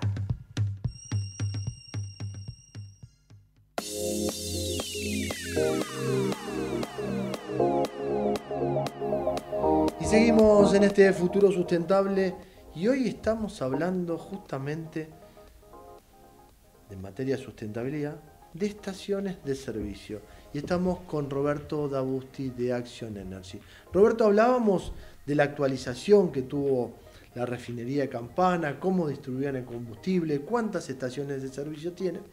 Pero el otro día vos nos mostrabas un proyecto, que creo que es de tu autoría, de estaciones sustentables. Y contarle a la audiencia por qué empezaste a pensar que las estaciones tenían que ser sustentables y qué rol tienen dentro de la comunidad. Mira, nosotros veníamos observando que la estación de servicio, ustedes vieron todo lo que pasa en una estación de servicio, de todo. Entonces... Eh, Los porteños tenemos muchos escándalos, pero en, en, el interior del país es como que es un centro de encuentro. Claro, punto de encuentro. Es el que, se, el que sabe todo. Sí. ¿Dónde de... nos encontramos? En la acción. Antes del boliche, después del boliche, un café con una empresa, con un amigo. Bueno, o en la ruta, che, en la tal... previa. Exacto. Entonces, nosotros empezamos a, a, ver que la estación de servicio cumple un rol social, sobre todo en lo que es las provincias ¿no? de nuestro país. Esto en Capital y Gran Buenos Aires no lo ves tanto, pero algunas cosas pasan. Entonces, empezamos a trabajar sobre lo que es el rol social que tiene una estación de servicio y por eso empezamos como un proyecto eh, el de estaciones sustentables. La idea es generar una gestión de eh, sustentabilidad, ir hacia la sustentabilidad. No es que una estación sea totalmente sustentable, sino que la idea es generar distintas acciones para que nosotros desde Action Energy, como también las empresas, los estacioneros que tienen las estaciones, puedan generar acciones de sustentabilidad. Y cuando decís acciones de sustentabilidad, ¿a qué se refieren? ¿A temas ambientales, a temas de salud? Bueno, ¿Cómo, hacemos, cómo doble, hacemos doble clic sobre lo que es sustentabilidad, el aspecto económico, ambiental y social económico, por ejemplo, generar eh, góndolas sustentables para poder vender productos regionales, que el del Salta o Tucumán pueda vender su, su, su, artesanía, su producto regional, que el de Neuquén pueda vender los dulces, las artesanías locales. La idea es generar esto, también espacios que ya los tenemos para eh, alimentos sin gluten, sin TAC. Eh, bueno, la idea es esto, generar distintos espacios para que eh, pueda generarse lo que es el desarrollo económico local, la inserción de personas locales para trabajar, generar un movimiento económico local. Por eso, eso desde el aspecto económico. Desde el aspecto social, bueno, tenemos distintas acciones. Eh, el otro día contábamos el proyecto de estaciones cardioprotegidas, que ya tenemos 20 estaciones y se están sumando otras 10 más, donde estamos instalando desfibriladores, esto es en las estaciones propias, quiero aclarar, y la idea es que ya lo estamos haciendo, se instala el desfibrilador y se capacita a todo el personal en lo que es el uso de ese desfibrilador y en primeros auxilios. Ya tenemos casos de salvataje de personas hasta que llega eh, la ambulancia, o sea, en, en caso de un accidente o de que alguna persona se descompone, Em, ¿Y hubo, respuesta, hubo casos de estos? Sí, sí, ya tenemos por lo menos en el último tiempo tres casos concretos del uso del desfibrilador en una estación de Avenida Libertador y Salguero.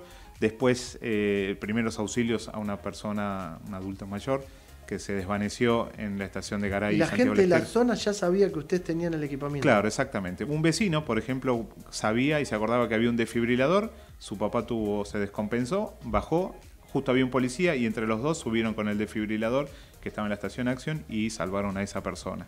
Entonces, la idea es generar un primer auxilio hasta que llega la ambulancia. Esto es importante porque esos minutos salvan vidas.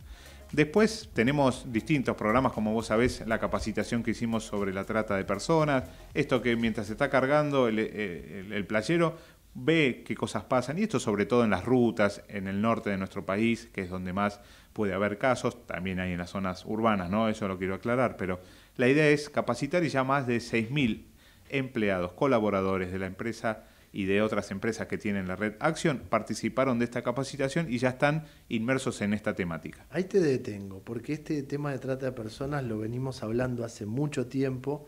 Vos dijiste que lo ibas a poner en práctica ¿Y no te sorprendió la cantidad de colaboradores que se comprometieron con el tema?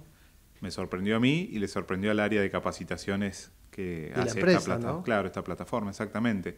Porque el, el, curso es libre, o sea, cada uno elige de hacerlo. Hay distintos, hay una gama de distintos cursos y este se puso como un curso más optativo y es muy bueno y muy rico los comentarios mm, que dejaban cada uno de los colaboradores después de hacer el curso, que también lo hicimos con mandos medios, ¿eh? no solo a los chicos que trabajan en las estaciones, sino también los mandos medios que manejan el área comercial. Y ya te digo, más de 6.000 chicos jóvenes que trabajan en las estaciones Action Energy ya fueron capacitados en la temática de trata y esto se hizo con una mesa a nivel nacional que trabaja y que hizo esas capacitaciones junto con nosotros y junto con el área de capacitaciones. Qué importante un tema tan delicado como es el de trata de personas y qué importante también no solo el compromiso, sino lo que vos decías, la posibilidad del que está expendiendo combustible o el que está encargado de playa, por decirlo de alguna manera, que pueda visibilizar, que pueda alertar en un caso tan complicado en un vehículo, en una combi o en un micro, entender que puede haber un caso de trata, porque es lo que más frecuentemente pasa, no solo en el norte, en todo el país, ¿no? Mm. Sí, sí, exactamente. Eh, nos agradecían justamente eso, aparte que le sirve más allá de su trabajo, le sirve para poder detectar casos de violencia de género, es decir, eh, ya el, el playero, toma un rol más protagónico, digamos, hace un montón de cosas, aparte de cargar nafta, te limpia los vidrios, cobra, bueno, pasa un montón de cosas, detecta un montón de situaciones que ocurren en la vía pública y en las rutas, y eso es importante. Entonces, se hace un protocolo que lo hace eh, la mesa justamente que trabaja en la lucha contra la trata de personas de nuestro país, se llama el 145, el playero no actúa directamente. Pero alerta. Pero alerta, y en tal vehículo y hay todo un protocolo. Una situación extraña, Llevan a una persona, a una mujer que parece que está o drogada o parece que está privada de su libertad, entonces detecta y alerta sobre el vehículo que va por la ruta X de nuestro país y ahí se activa un protocolo que existe ya a nivel nacional y que actúa la autoridad competente. Entendiendo que las estaciones de servicio son los grandes puntos, los grandes puntos de encuentro, los grandes puntos de referencia de pueblos, de ciudades. En materia ambiental, ¿qué han hecho para poder manejar temas residuos, por ejemplo? Mira, eh, nosotros empezamos, viste que el tema residuos es complejo en el tema de la legislación provincial, municipal. Siempre empezamos con las estaciones propias y con las estaciones de Capital y Gran Buenos Aires. El año pasado ya implementamos un programa de recolección de pilas, que es un tema donde llevo las pilas que no uso más. Bueno, las estaciones Action, que están en la página, eh, que también lo hacemos con Alpiva, que es una organización que se dedica justamente al tratamiento de las pilas. Hicimos y distribuimos en distintas estaciones Action eh, unas urnas para poder recolectar esas pilas. Después eh, hacemos la recolección de las tapitas del Garraham también, que a veces parece menor, pero es mucho lo que para el Garraham, el hospital, que atiende no solo a Ciudad de Buenos Aires, sino a chicos de todo el país, una tapita o 100 tapitas, bueno, pueden ayudar a justamente al sostenimiento del hospital. Ahí unimos lo social y unimos lo ambiental.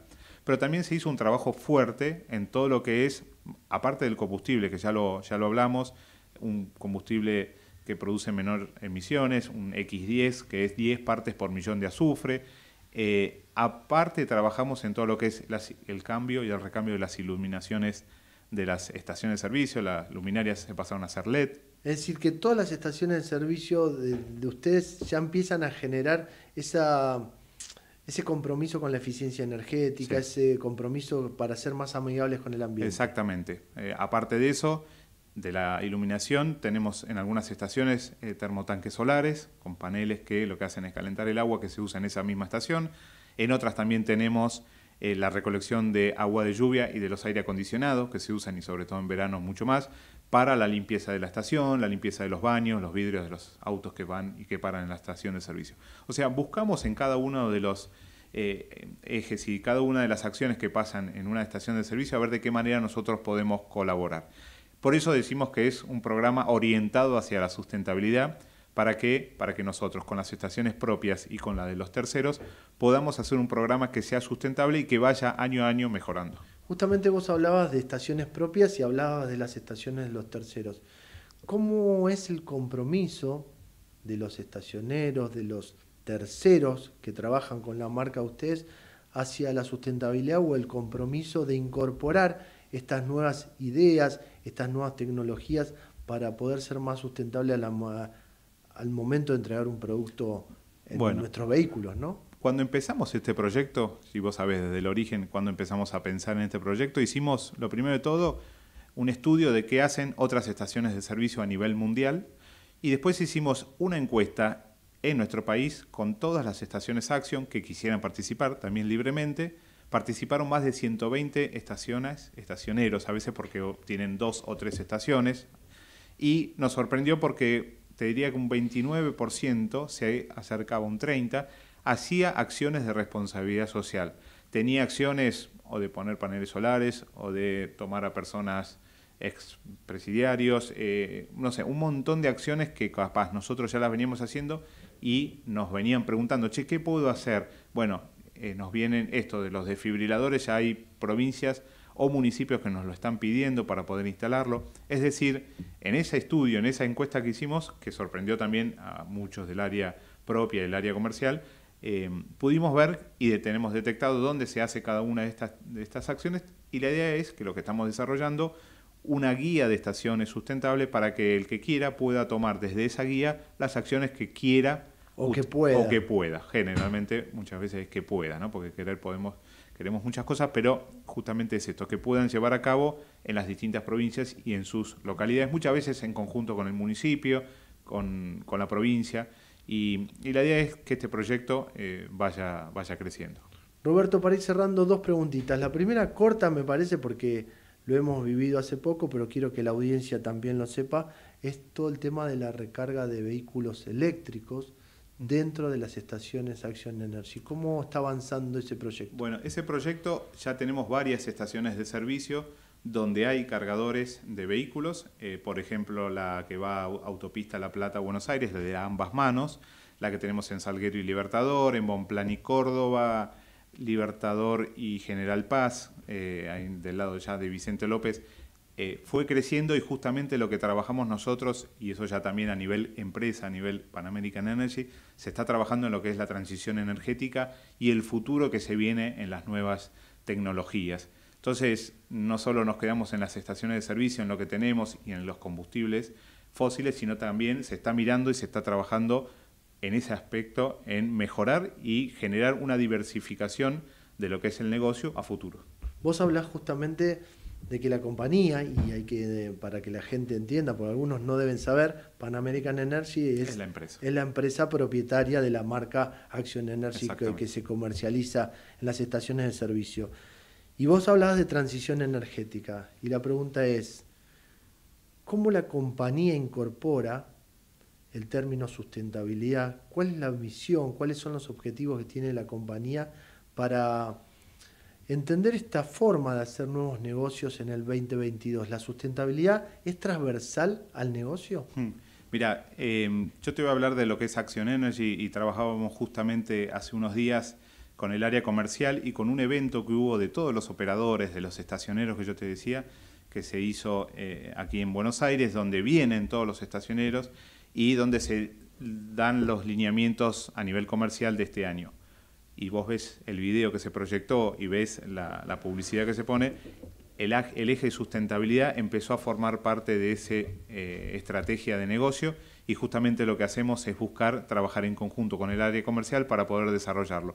La tecnología, la sustentabilidad, todo el aspecto económico y ambiental y social que tiene una estación de servicio y el negocio que es Action Energy, eh, tiene que trabajar y hacia allá estamos caminando, no solo desde el área de responsabilidad social, sino de una manera transversal con las distintas áreas.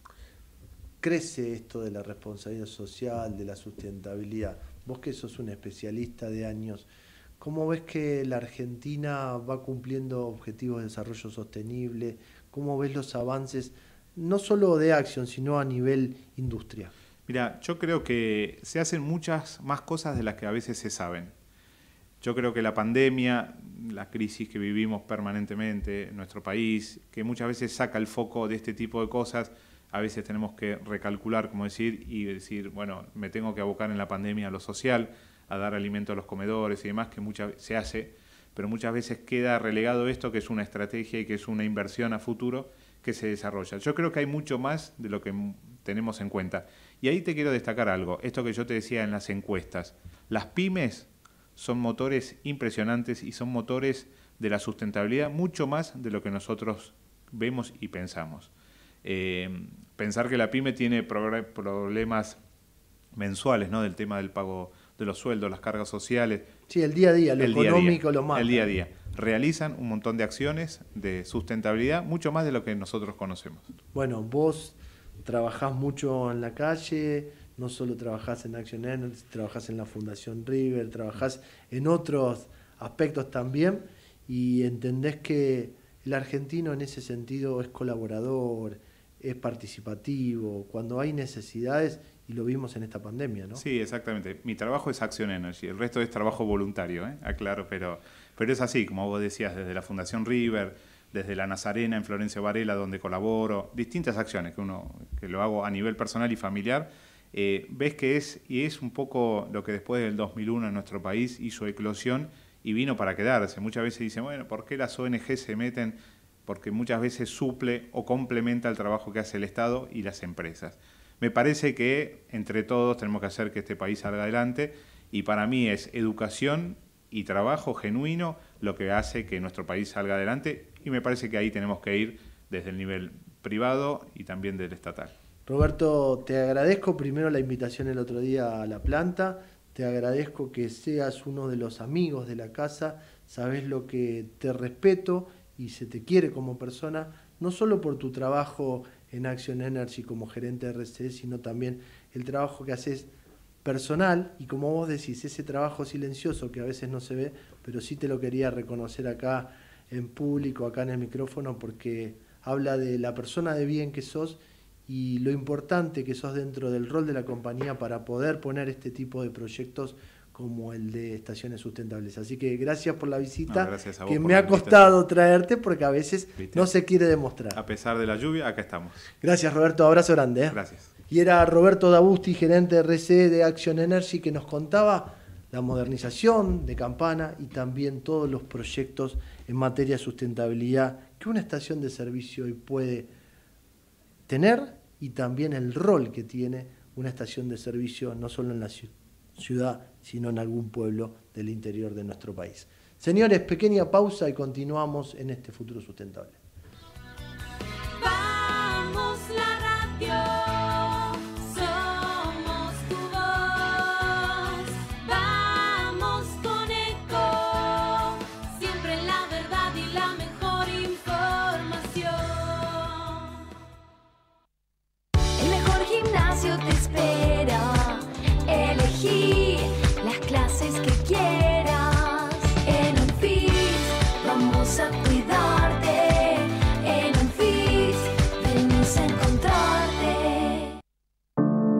Cuidar es la herramienta digital del Ministerio de Salud. Descargala en tu celular a través de tu App Store o Google Play y carga tus datos. La aplicación te permite hacer un autodiagnóstico, acceder a tus certificados y consultar el resultado de tu hisopado. Ahora podés acceder a la información provista por el Ministerio de Salud y ver tu diagnóstico COVID-19 de forma rápida y sencilla. App Cuidar. Sigamos cuidándonos. Gobierno del Pueblo de Merlo. Intendencia Menéndez. Informate en ecomedios.com. Seguinos en Facebook. Ecomedios Live.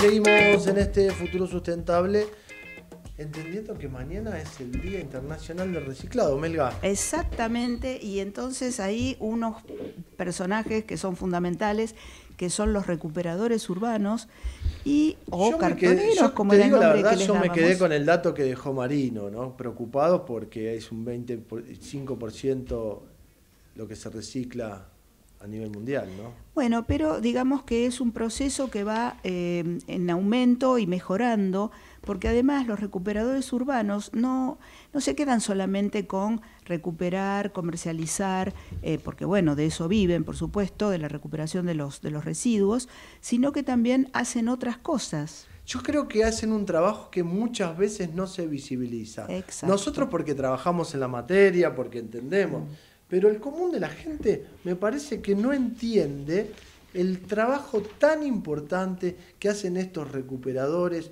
urbanos en el momento de recoger o comercializar un residuo. Por eso vamos a hablar con Ramiro Martínez, presidente de Conarcop y miembro fundador de Creando Conciencia. Ramiro, muy buenas tardes. Pablo te saluda, ¿cómo estás? Hola, buenas tardes, ¿cómo estás, Pablo? Un gusto. Perdón, Pablo. Gago y la Melga, perdón. ¿Cómo estás? Ah, El ¿cómo apuro estás? del lunes, ¿viste? Ramiro, yo recién hablaba con la Melga, que es muy importante el trabajo que hacen los recuperadores y a veces no se los visibiliza. ¿Coincidís conmigo? La verdad que sí, coincido con vos, con que la visibilización del sector eh, y, y- y resalto que en el contexto de pandemia, a partir del 20 de marzo del 2020, eh, tuvimos que salir a, visibilizarnos justamente porque éramos un sector que estaba seriamente afectado. Entonces, creo que ese debate lo seguimos dando, quizás con algún porcentaje de conocimiento superior a, lo que era el 2020, pero sí no se visibiliza, no se visibiliza nuestra labor ambiental. Se, se- se cree que somos en principio una economía de supervivencia, pero en realidad eh, somos la primera, eh, la, primer- la primera nave de batalla que da respuesta al, al cuidado ambiental en cualquier eh, distrito de nuestro país. La verdad que el conjunto, ese principal hecho que queremos que se nos reconozca es la función pública y ambiental que realizamos día a día y hora a hora eh, con la reinserción de los residuos. Hay mucho, hay mucha recolección de residuos. ¿Ha crecido la recolección o la recuperación de residuos por parte de justamente de estos recuperadores urbanos?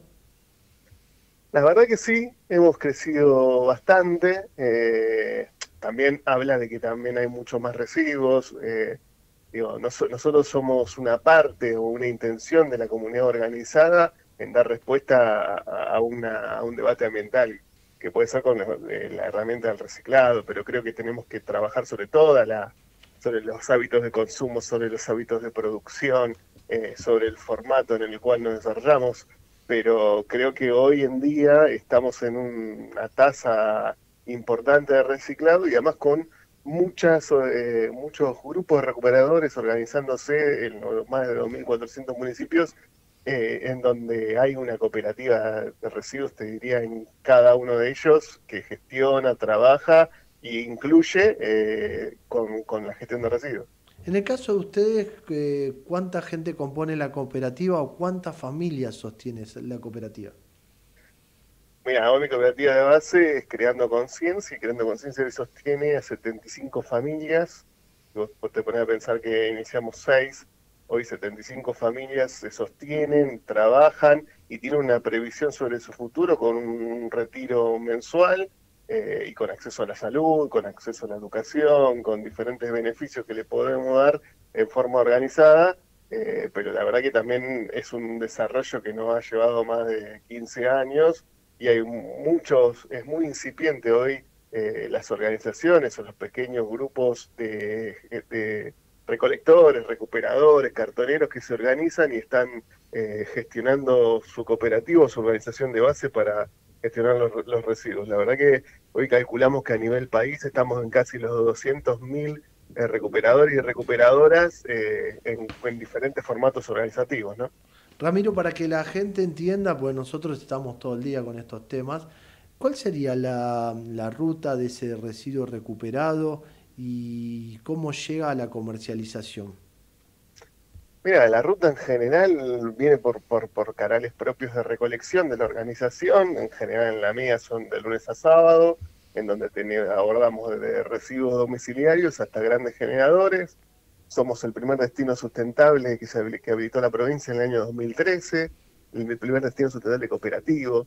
Eh, y en esa, en esa tratamiento y acondicionamiento estamos trabajando sobre 35 materiales en diferentes subclases, ¿no? Los plásticos y los diferentes materiales de reinserción y dando respuesta a un 85% del material que ingresa en nuestra planta con respecto al 100%, teniendo un 15% o a veces menos de recicl- lo que se llama reciclado negativo o rechazo, y aquel material que no tiene una reinserción en la industria, nosotros, bueno, generamos diferentes productos, como puede ser con el tergopol, los útiles escolares, con el polipropileno, eh, los broches para ropa, las perchas, eh, bueno, todo la- la- lo que nos permite hoy el polo productivo de Creando Conciencia. ¿Y quién lo comercializa? ¿Cómo lo hacen, digamos, eh, efectivo para poder mantener o poder, poder llegarle plata a esas 75 familias? Y en principio con la reinserción de materiales y además después con la generación de nuevos productos, que también tenemos el mobiliario en madera plástica, que hoy eh, abunda en, bueno, en muchas plazas de Tigre, en diferentes emprendimientos de municipios, en, en la casa de algún de vecinos también en forma eh, unitaria, pero bueno, nosotros tenemos las canales de comercialización a través del sistema cooperativo, así como también de, de sistemas supermercadistas tradicionales que eh, el cual podemos asistir y generarle producción para poder, eh, por ejemplo, en el caso de las broches y las perchas, durante todo el año tener en el circuito comercial. Ramiro, muchísimas gracias por el contacto y a seguir trabajando porque es una labor que a veces no se ve, pero es fundamental en el recupero de estos residuos, ¿no?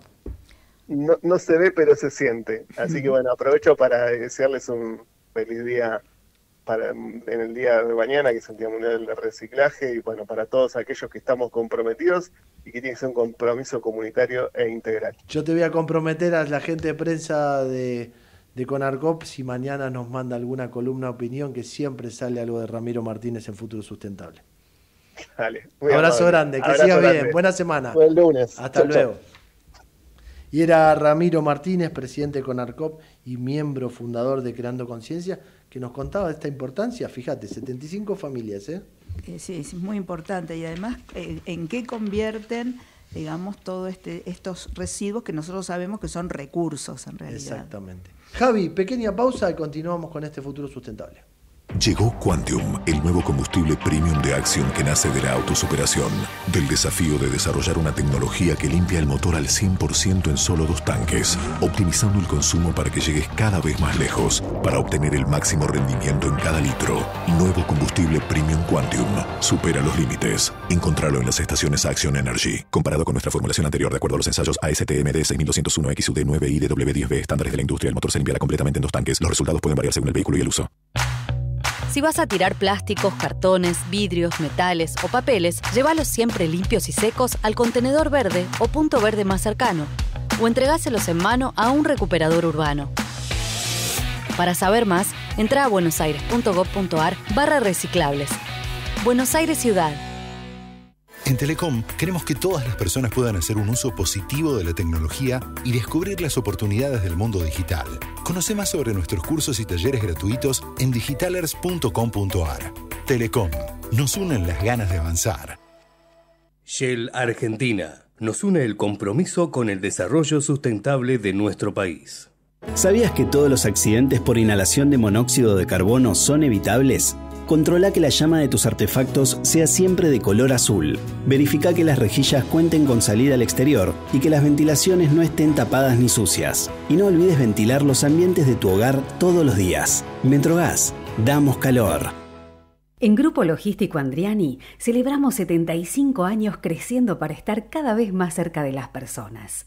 75 años trabajando con pasión y compromiso para contribuir al desarrollo sostenible de nuestras comunidades y generar una diferencia positiva. Hoy invertimos más que nunca en el desarrollo de tecnología para evolucionar en la forma de hacer logística y seguir llegando a cada rincón del país. Andriani, llevamos lo que te importa. Masalín Particulares, 115 años de liderazgo distinguidos por la trayectoria, guiados por la innovación. Y seguimos en este futuro sustentable, últimos 15 minutos y vamos a ir con dos temas de actualidad. Vamos a hablar del incendio en Avellaneda, este incendio que se desató en Docsud, en el partido de Avellaneda, que afecta tres fábricas una de colchones, una de zapatillas y una de productos químicos. Pero vamos a hablar con un especialista, vamos a hablar con el gerente general de Damianich, Damián Simbeni, que nos va a contar un poco a nivel prevención qué se podría hacer y cuál es la situación. Damián, muy buenas tardes. Pablo Gago te saluda, ¿cómo estás? ¿Qué tal, Pablo? Buenas tardes. ¿Cómo estás vos? Bien preocupado porque hay una extensa o nube de humo sobre el sur de la ciudad de Buenos Aires, proveniente del partido Avellaneda, y hablábamos de la prevención. ¿Qué se puede hacer en estos casos y cuál es la situación, Damián? Eh, la situación, Pablo, es, preocupante porque cada vez es, más frecuente estos, incendios. De hecho, recuerdo hace no mucho, uno o dos años, también una fábrica de colchones en Avellaneda, con también una columna de humo que se veía desde, desde la capital ten en cuenta que, las empresas cada vez manejan productos más peligrosos, más cantidad de productos, más depósitos, y los sistemas de incendio están acondicionados, en el mejor de los casos, a una ley que tiene prácticamente 40 y pico de años. ¿Y cómo hacemos desde de la prevención? Porque en este momento la información que nos llega, que hay ocho dotaciones de bomberos que trabajan en la fábrica de colchones y en la fábrica de aerosoles y pregunto prevención porque primero para prevenir el siniestro y segundo el impacto ambiental que trae eh, un accidente de este tipo, ¿no? Sí, sí, descontando de primera mano que no haya víctimas y que no haya ningún, ninguna víctima entre los bomberos o entre la gente que trabaja. Y después queda obviamente el daño material y, el enorme impacto que tiene, que tiene en el medio ambiente. Eh, la, realidad, si vos me preguntás de la prevención, eh, un tema fundamental es primero el diseño de las instalaciones, que hay muchas instalaciones que, no están diseñadas correctamente, bajo ningún parámetro o ninguna normativa. La, ley nacional no tiene una gran exigencia y, muchos diseños se hacen sin ningún basamiento técnico o con algo muy liviano. Y si me preguntás a mí, el mayor de los problemas después es el tema de mantenimiento, donde no hay acá un seguimiento de las instalaciones o una verificación periódica que las instalaciones estén funcionando. Justamente a eso iba la pregunta, Damián. Vos hablás de la liviandad, hablás, de la poca exigencia. Y yo pregunto, ¿cómo se mantiene una, una estructura contra incendios en una industria? ¿Hay controles asiduos? ¿Hay obligación desde la legislación? Mira, habría, habría una obligación de mantenimiento, hay, hay leyes que lo, que lo regulan, el tema es el poco control que hay y, quizás las bajas multas o las bajas penalidades por no realizarlo. La realidad que hoy por hoy depende más de, la, del buen tino de, cada una de las empresas, de las ganas que tengan de hacer las cosas bien o de estar protegidos, que de la legislación en sí. Eh, una vez que habilitaste la planta, presentaste los planos, te lo aprobó la autoridad competente, que puede ser bomberos o la municipalidad, de ahí en más es como que la planta ya está operando y el sistema de incendio es el que está. Si lo mantenés o no, depende después prácticamente de cada, de cada empresa. Eh, lo correcto es hacer un mantenimiento de acuerdo a alguna norma, algún esquema de mantenimiento en el cual hay pruebas. Sí, disculpame. No, Damián te decía que justamente después de la pandemia y para ir cerrando, eh, ustedes ven que hay más eh, liviandad y menos prevención en todo lo que es estructuras contra incendios. ¿Cómo lo ven desde Damián y Sond la contratación de este tipo de, servicios?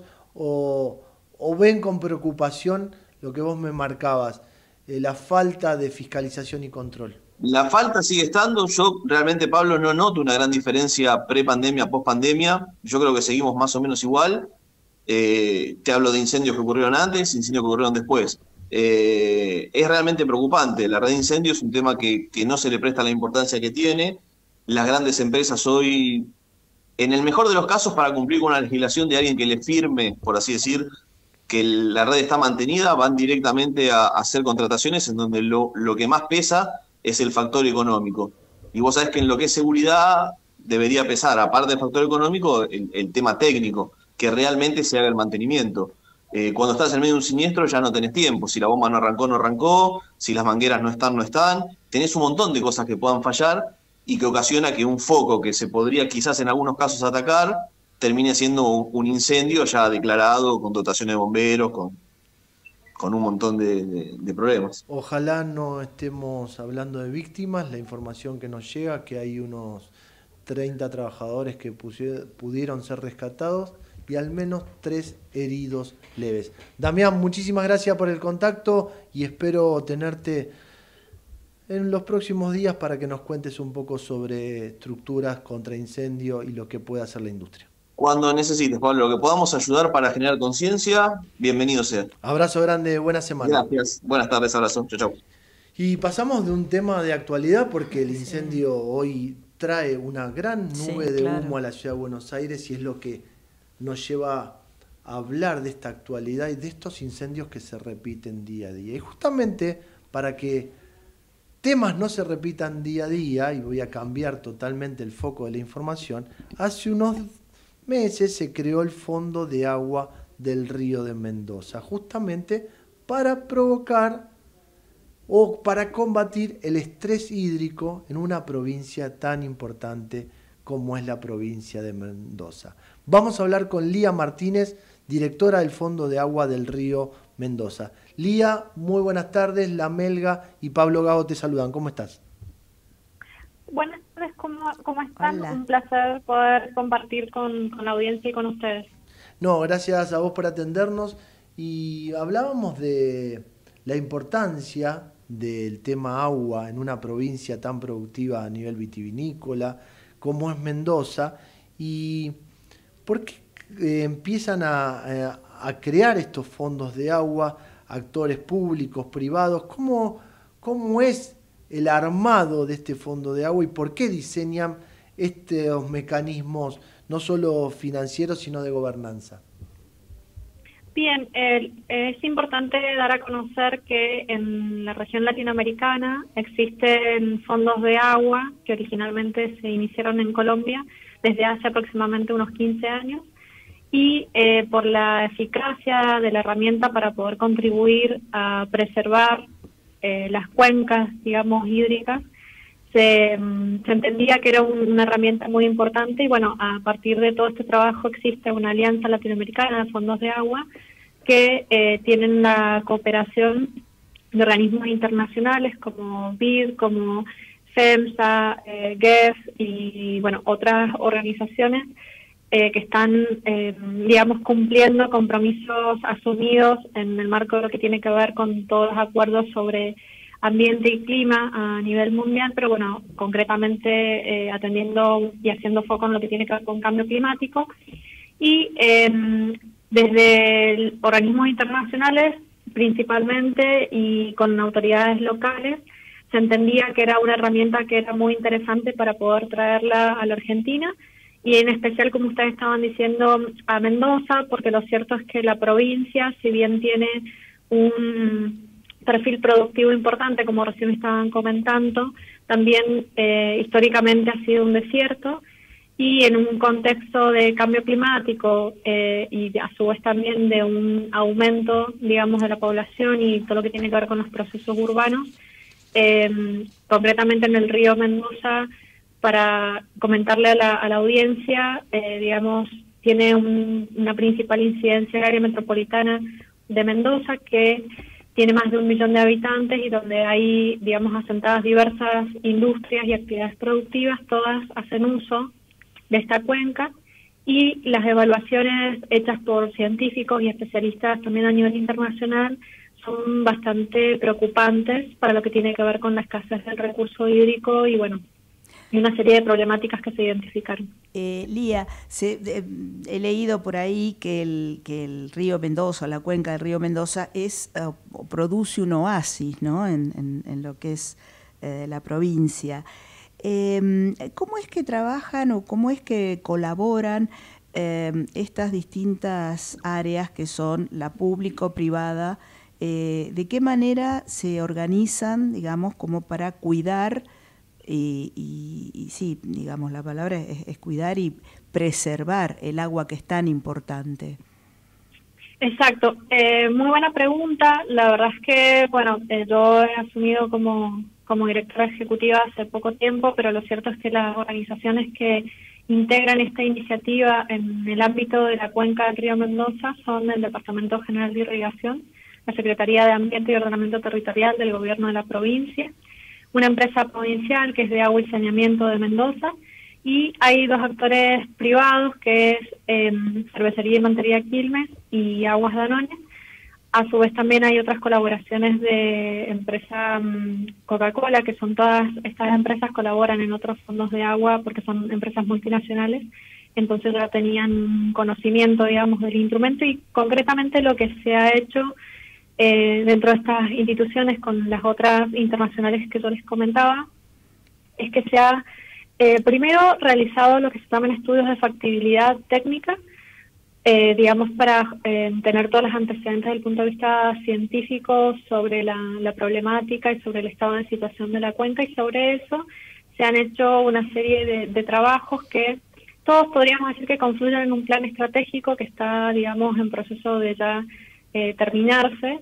Y básicamente lo que ese plan estratégico permite es que las acciones colectivas de estos actores que estábamos comentando y nuevos que puedan sumarse estén orientadas primero por lo que la ciencia dice que es prioritario resolver, lo que se ha identificado como problemática en la cuenca.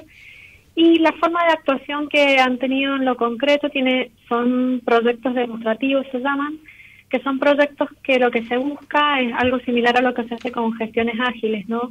Eh, que esto por un poco lo manejan un poquito más las empresas de, tecnología y las nuevas, o las empresas jóvenes, digamos, en donde lo que se busca es tener una acción rápida y, eh, por ejemplo, estos proyectos han durado un año, ahora tenemos un proyecto, uno de los más famosos, digamos, que tiene este fondo, se llama Suma Nativa, en donde básicamente ese proyecto lo que se formuló lo lleva adelante un equipo de trabajo de, científicos y científicas de, del, del CONICET, y otros, otros miembros, que lo que básicamente se hace ahí es, em, se estuvo y se va a seguir haciendo es una em, restauración de eh, flora nativa. Claro, de la biodiversidad, ¿no? Es así, porque claro, porque había habido, claro, sí. Claro, había habido un incendio en una zona que es de la del dique Potrerillos, en el ámbito de esta cuenca del río Mendoza que estábamos comentando, y hay que tener en cuenta que ese tipo de problemáticas lo que genera es un impacto mucho más amplio que solamente eh, el incendio, ¿no? Porque la flora nativa cumple un rol fundamental con el suelo y el suelo, eh, digamos, tiene que ser, tiene que tener ciertas características, a lo cual va a ayudar a la diversidad para eh, que el agua cumpla ciertos ciclos o que, por ejemplo, no tengamos ciertas evaporaciones o, bueno, toda una serie de problemáticas que, se identifican a partir de no tener la, la flora nativa. Así que básicamente este proyecto lo que hizo fue en su primer momento remediar toda esa parte que había tenido de incendio, articular con algunos actores más privados de, de este ámbito territorial que les comentaba, que es la zona de Potrerillos, y este segundo año lo que se va a buscar es expandir, porque se armó un vivero que es un vivero en que está involucrada la comunidad de la zona, porque lo que hay que tener en cuenta es que el gran desafío de este fondo es no solamente eh, captar colaboraciones de actores públicos y privados, más allá de estos que acabo de nombrar, sino a su vez también eh, involucrar activamente a la población para comprender primero la situación en la que estamos, cosa que se puedan modificar ciertos hábitos de consumo, pero a su vez la oportunidad que tenemos las personas, digamos, que, vivimos en, la zona de esta cuenca como para poder colaborar en resolver ciertos problemas que existen. Claro, Porque acá la verdad es que... Qué, importante es ¿no? que la comunidad se involucre, porque bueno, es justamente el, motor que, lleva a, a, que se produzca esta, esta preservación del agua, donde cada gota cuenta, ¿no es cierto? Exacto, y porque también hay que comprender que no solamente, digamos, ahorro cerrando la canilla de, mi casa, sino mm. involucrándome un poquito más de qué pasa con si hay contaminación de los acuíferos, si entiendo el rol que tienen lo que estamos explicando recién de la biodiversidad para la preservación del, del recurso hídrico. Después hay algunas otras problemáticas un poquito más estructurales que tienen que ver con ciertas prácticas que existen para riego, por ejemplo las inversiones que hacen falta para tener sistemas de riegos más eficientes y a su vez también otras inversiones mucho más grandes que van a hacer falta para em, arreglar todos aquellos problemas que tengan que ver con la red, digamos, de distribución del, del agua potable, ah, entonces, que también tiene algunas problemáticas. Claro, entonces Lía, bueno, esto significa que seguramente nos vamos a volver a conectar porque este es un proceso, es un trabajo largo y este y seguramente ustedes van a tener novedades en, poco tiempo, así que probablemente vamos a volver a conversar. Bueno, Lía, entonces, directora del Fondo de Agua del Río Mendoza, de la provincia de Mendoza, por supuesto, estuvo con nosotros y bueno, te agradecemos mucho. Muchísimas gracias a, a ustedes y obviamente que será un placer y les agradecemos un montón poder compartir porque Así es la forma de que la población también eh, tome en contacto con este tipo de iniciativas, que se involucre y bueno, la intención es que generemos proyectos que tengan instancias participativas en donde la participación no sea más allá de recibir información, sino también eh, involucrarse y compartir, que en definitiva colaborando es como, como también vamos a, contar todos con seguridad y Gracias, Lía. Buena semana. ¿eh? Hasta luego, muchísimas gracias a ustedes. Y era Lía Martínez, directora del Fondo de Agua del Río Mendoza. Si usted escucha un ruidito de fondo, es porque ya nos estamos yendo, pero llegó mi amigo Adrián Filinich. Hola Adri, ¿cómo andás? ¿Qué tal, Pablo? Bien, muy bien, muy contento. La verdad que cambió un poco el día, ¿eh? ¿Te mojaste o no? No, no me mojé. Qué suerte que tienen algunos. Yo me mojé, vine en moto, me mojé, me agarró el chaparrón, Todo. me agarró el accidente del Libertador, todas. Bien, no dejaste ninguna fuera. No, ¿y usted qué va a dejar hoy para la audiencia de comedios a la tarde hablando vamos de no a hablar dejar afuera nada? Es verdad, no dejar afuera nada. Eh, ¿Cómo gestionar los enojos? También, ¿no? Vamos a hablar con una capacitadora, cómo gestionar los enojos. Una entrevista de un psicólogo acá en el piso. Eh, eh, Alexis va a estar acá con nosotros. Y también vamos a tener una entrevista que tiene que ver con el Seibo. ¿Usted se acuerda el Seibo? La... Bueno, vamos a ver si puede. Eva, Evangelina puede hablar con nosotros por teléfono. Nosotros hoy estuvimos hablando mucho del reciclado porque mañana es el Día Internacional del Reciclado. Por eso, algo de eso queremos hacer también. Muy bien, me gusta, me gusta, me gusta el programa. Me, gusta ya quedarme desde acá. Mira qué bien que salgo además. Estamos lindos. Usted está siempre coqueto, el peinado, yo se lo envidio, ¿eh? pero bueno. No, bueno. A vos te parece. no, pero algo te tengo que envidiar, Adri. Esto es por el gorro, además que me queda todo aplastado.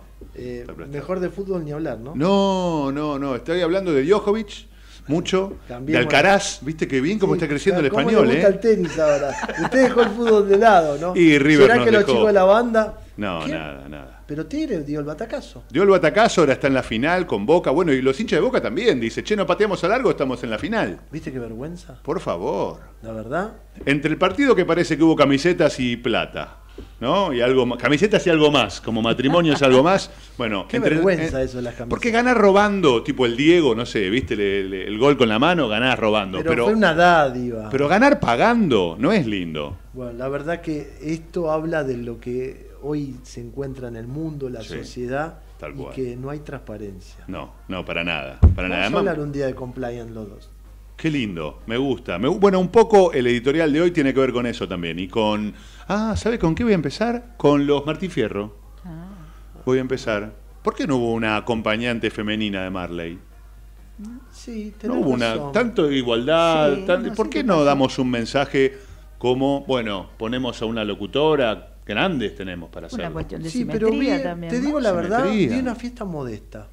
Sí, una fiesta modesta, siguen No, estando los mismos personajes, Mirta, Susana, las quiero mucho, ¿no? Pero, ¿y el recambio? ¿Y las generaciones que vienen? Sí, el post pandemia creo que dejó una fiesta media alicaída, por decirlo. Media de le alguna caída. Bueno el premio a Tele9, el noticiero, la verdad que lo eh, compartimos mucha gente en común, eh, muchos amigos, Fabián Bepo y otros este, Pablito, locutores. Pablito Fernández. Pablito Fernández. Amigo mío, Eh, al tenis conmigo ese ah, mira. Sí. Eh, la verdad que un premio reconocido, pero me, me quedo con algunas cosas de la entrega de Martín Fierro de ayer también. De todo hablamos, de fútbol, de ecología, de Martín Fierro. No le robo más tiempo. No, me- por favor, Me despido. Nos reencontramos el lunes que viene a las 13, si Dios quiere, por Ecomedios. Y se quedan con el gran Adrián Filinich. Chau.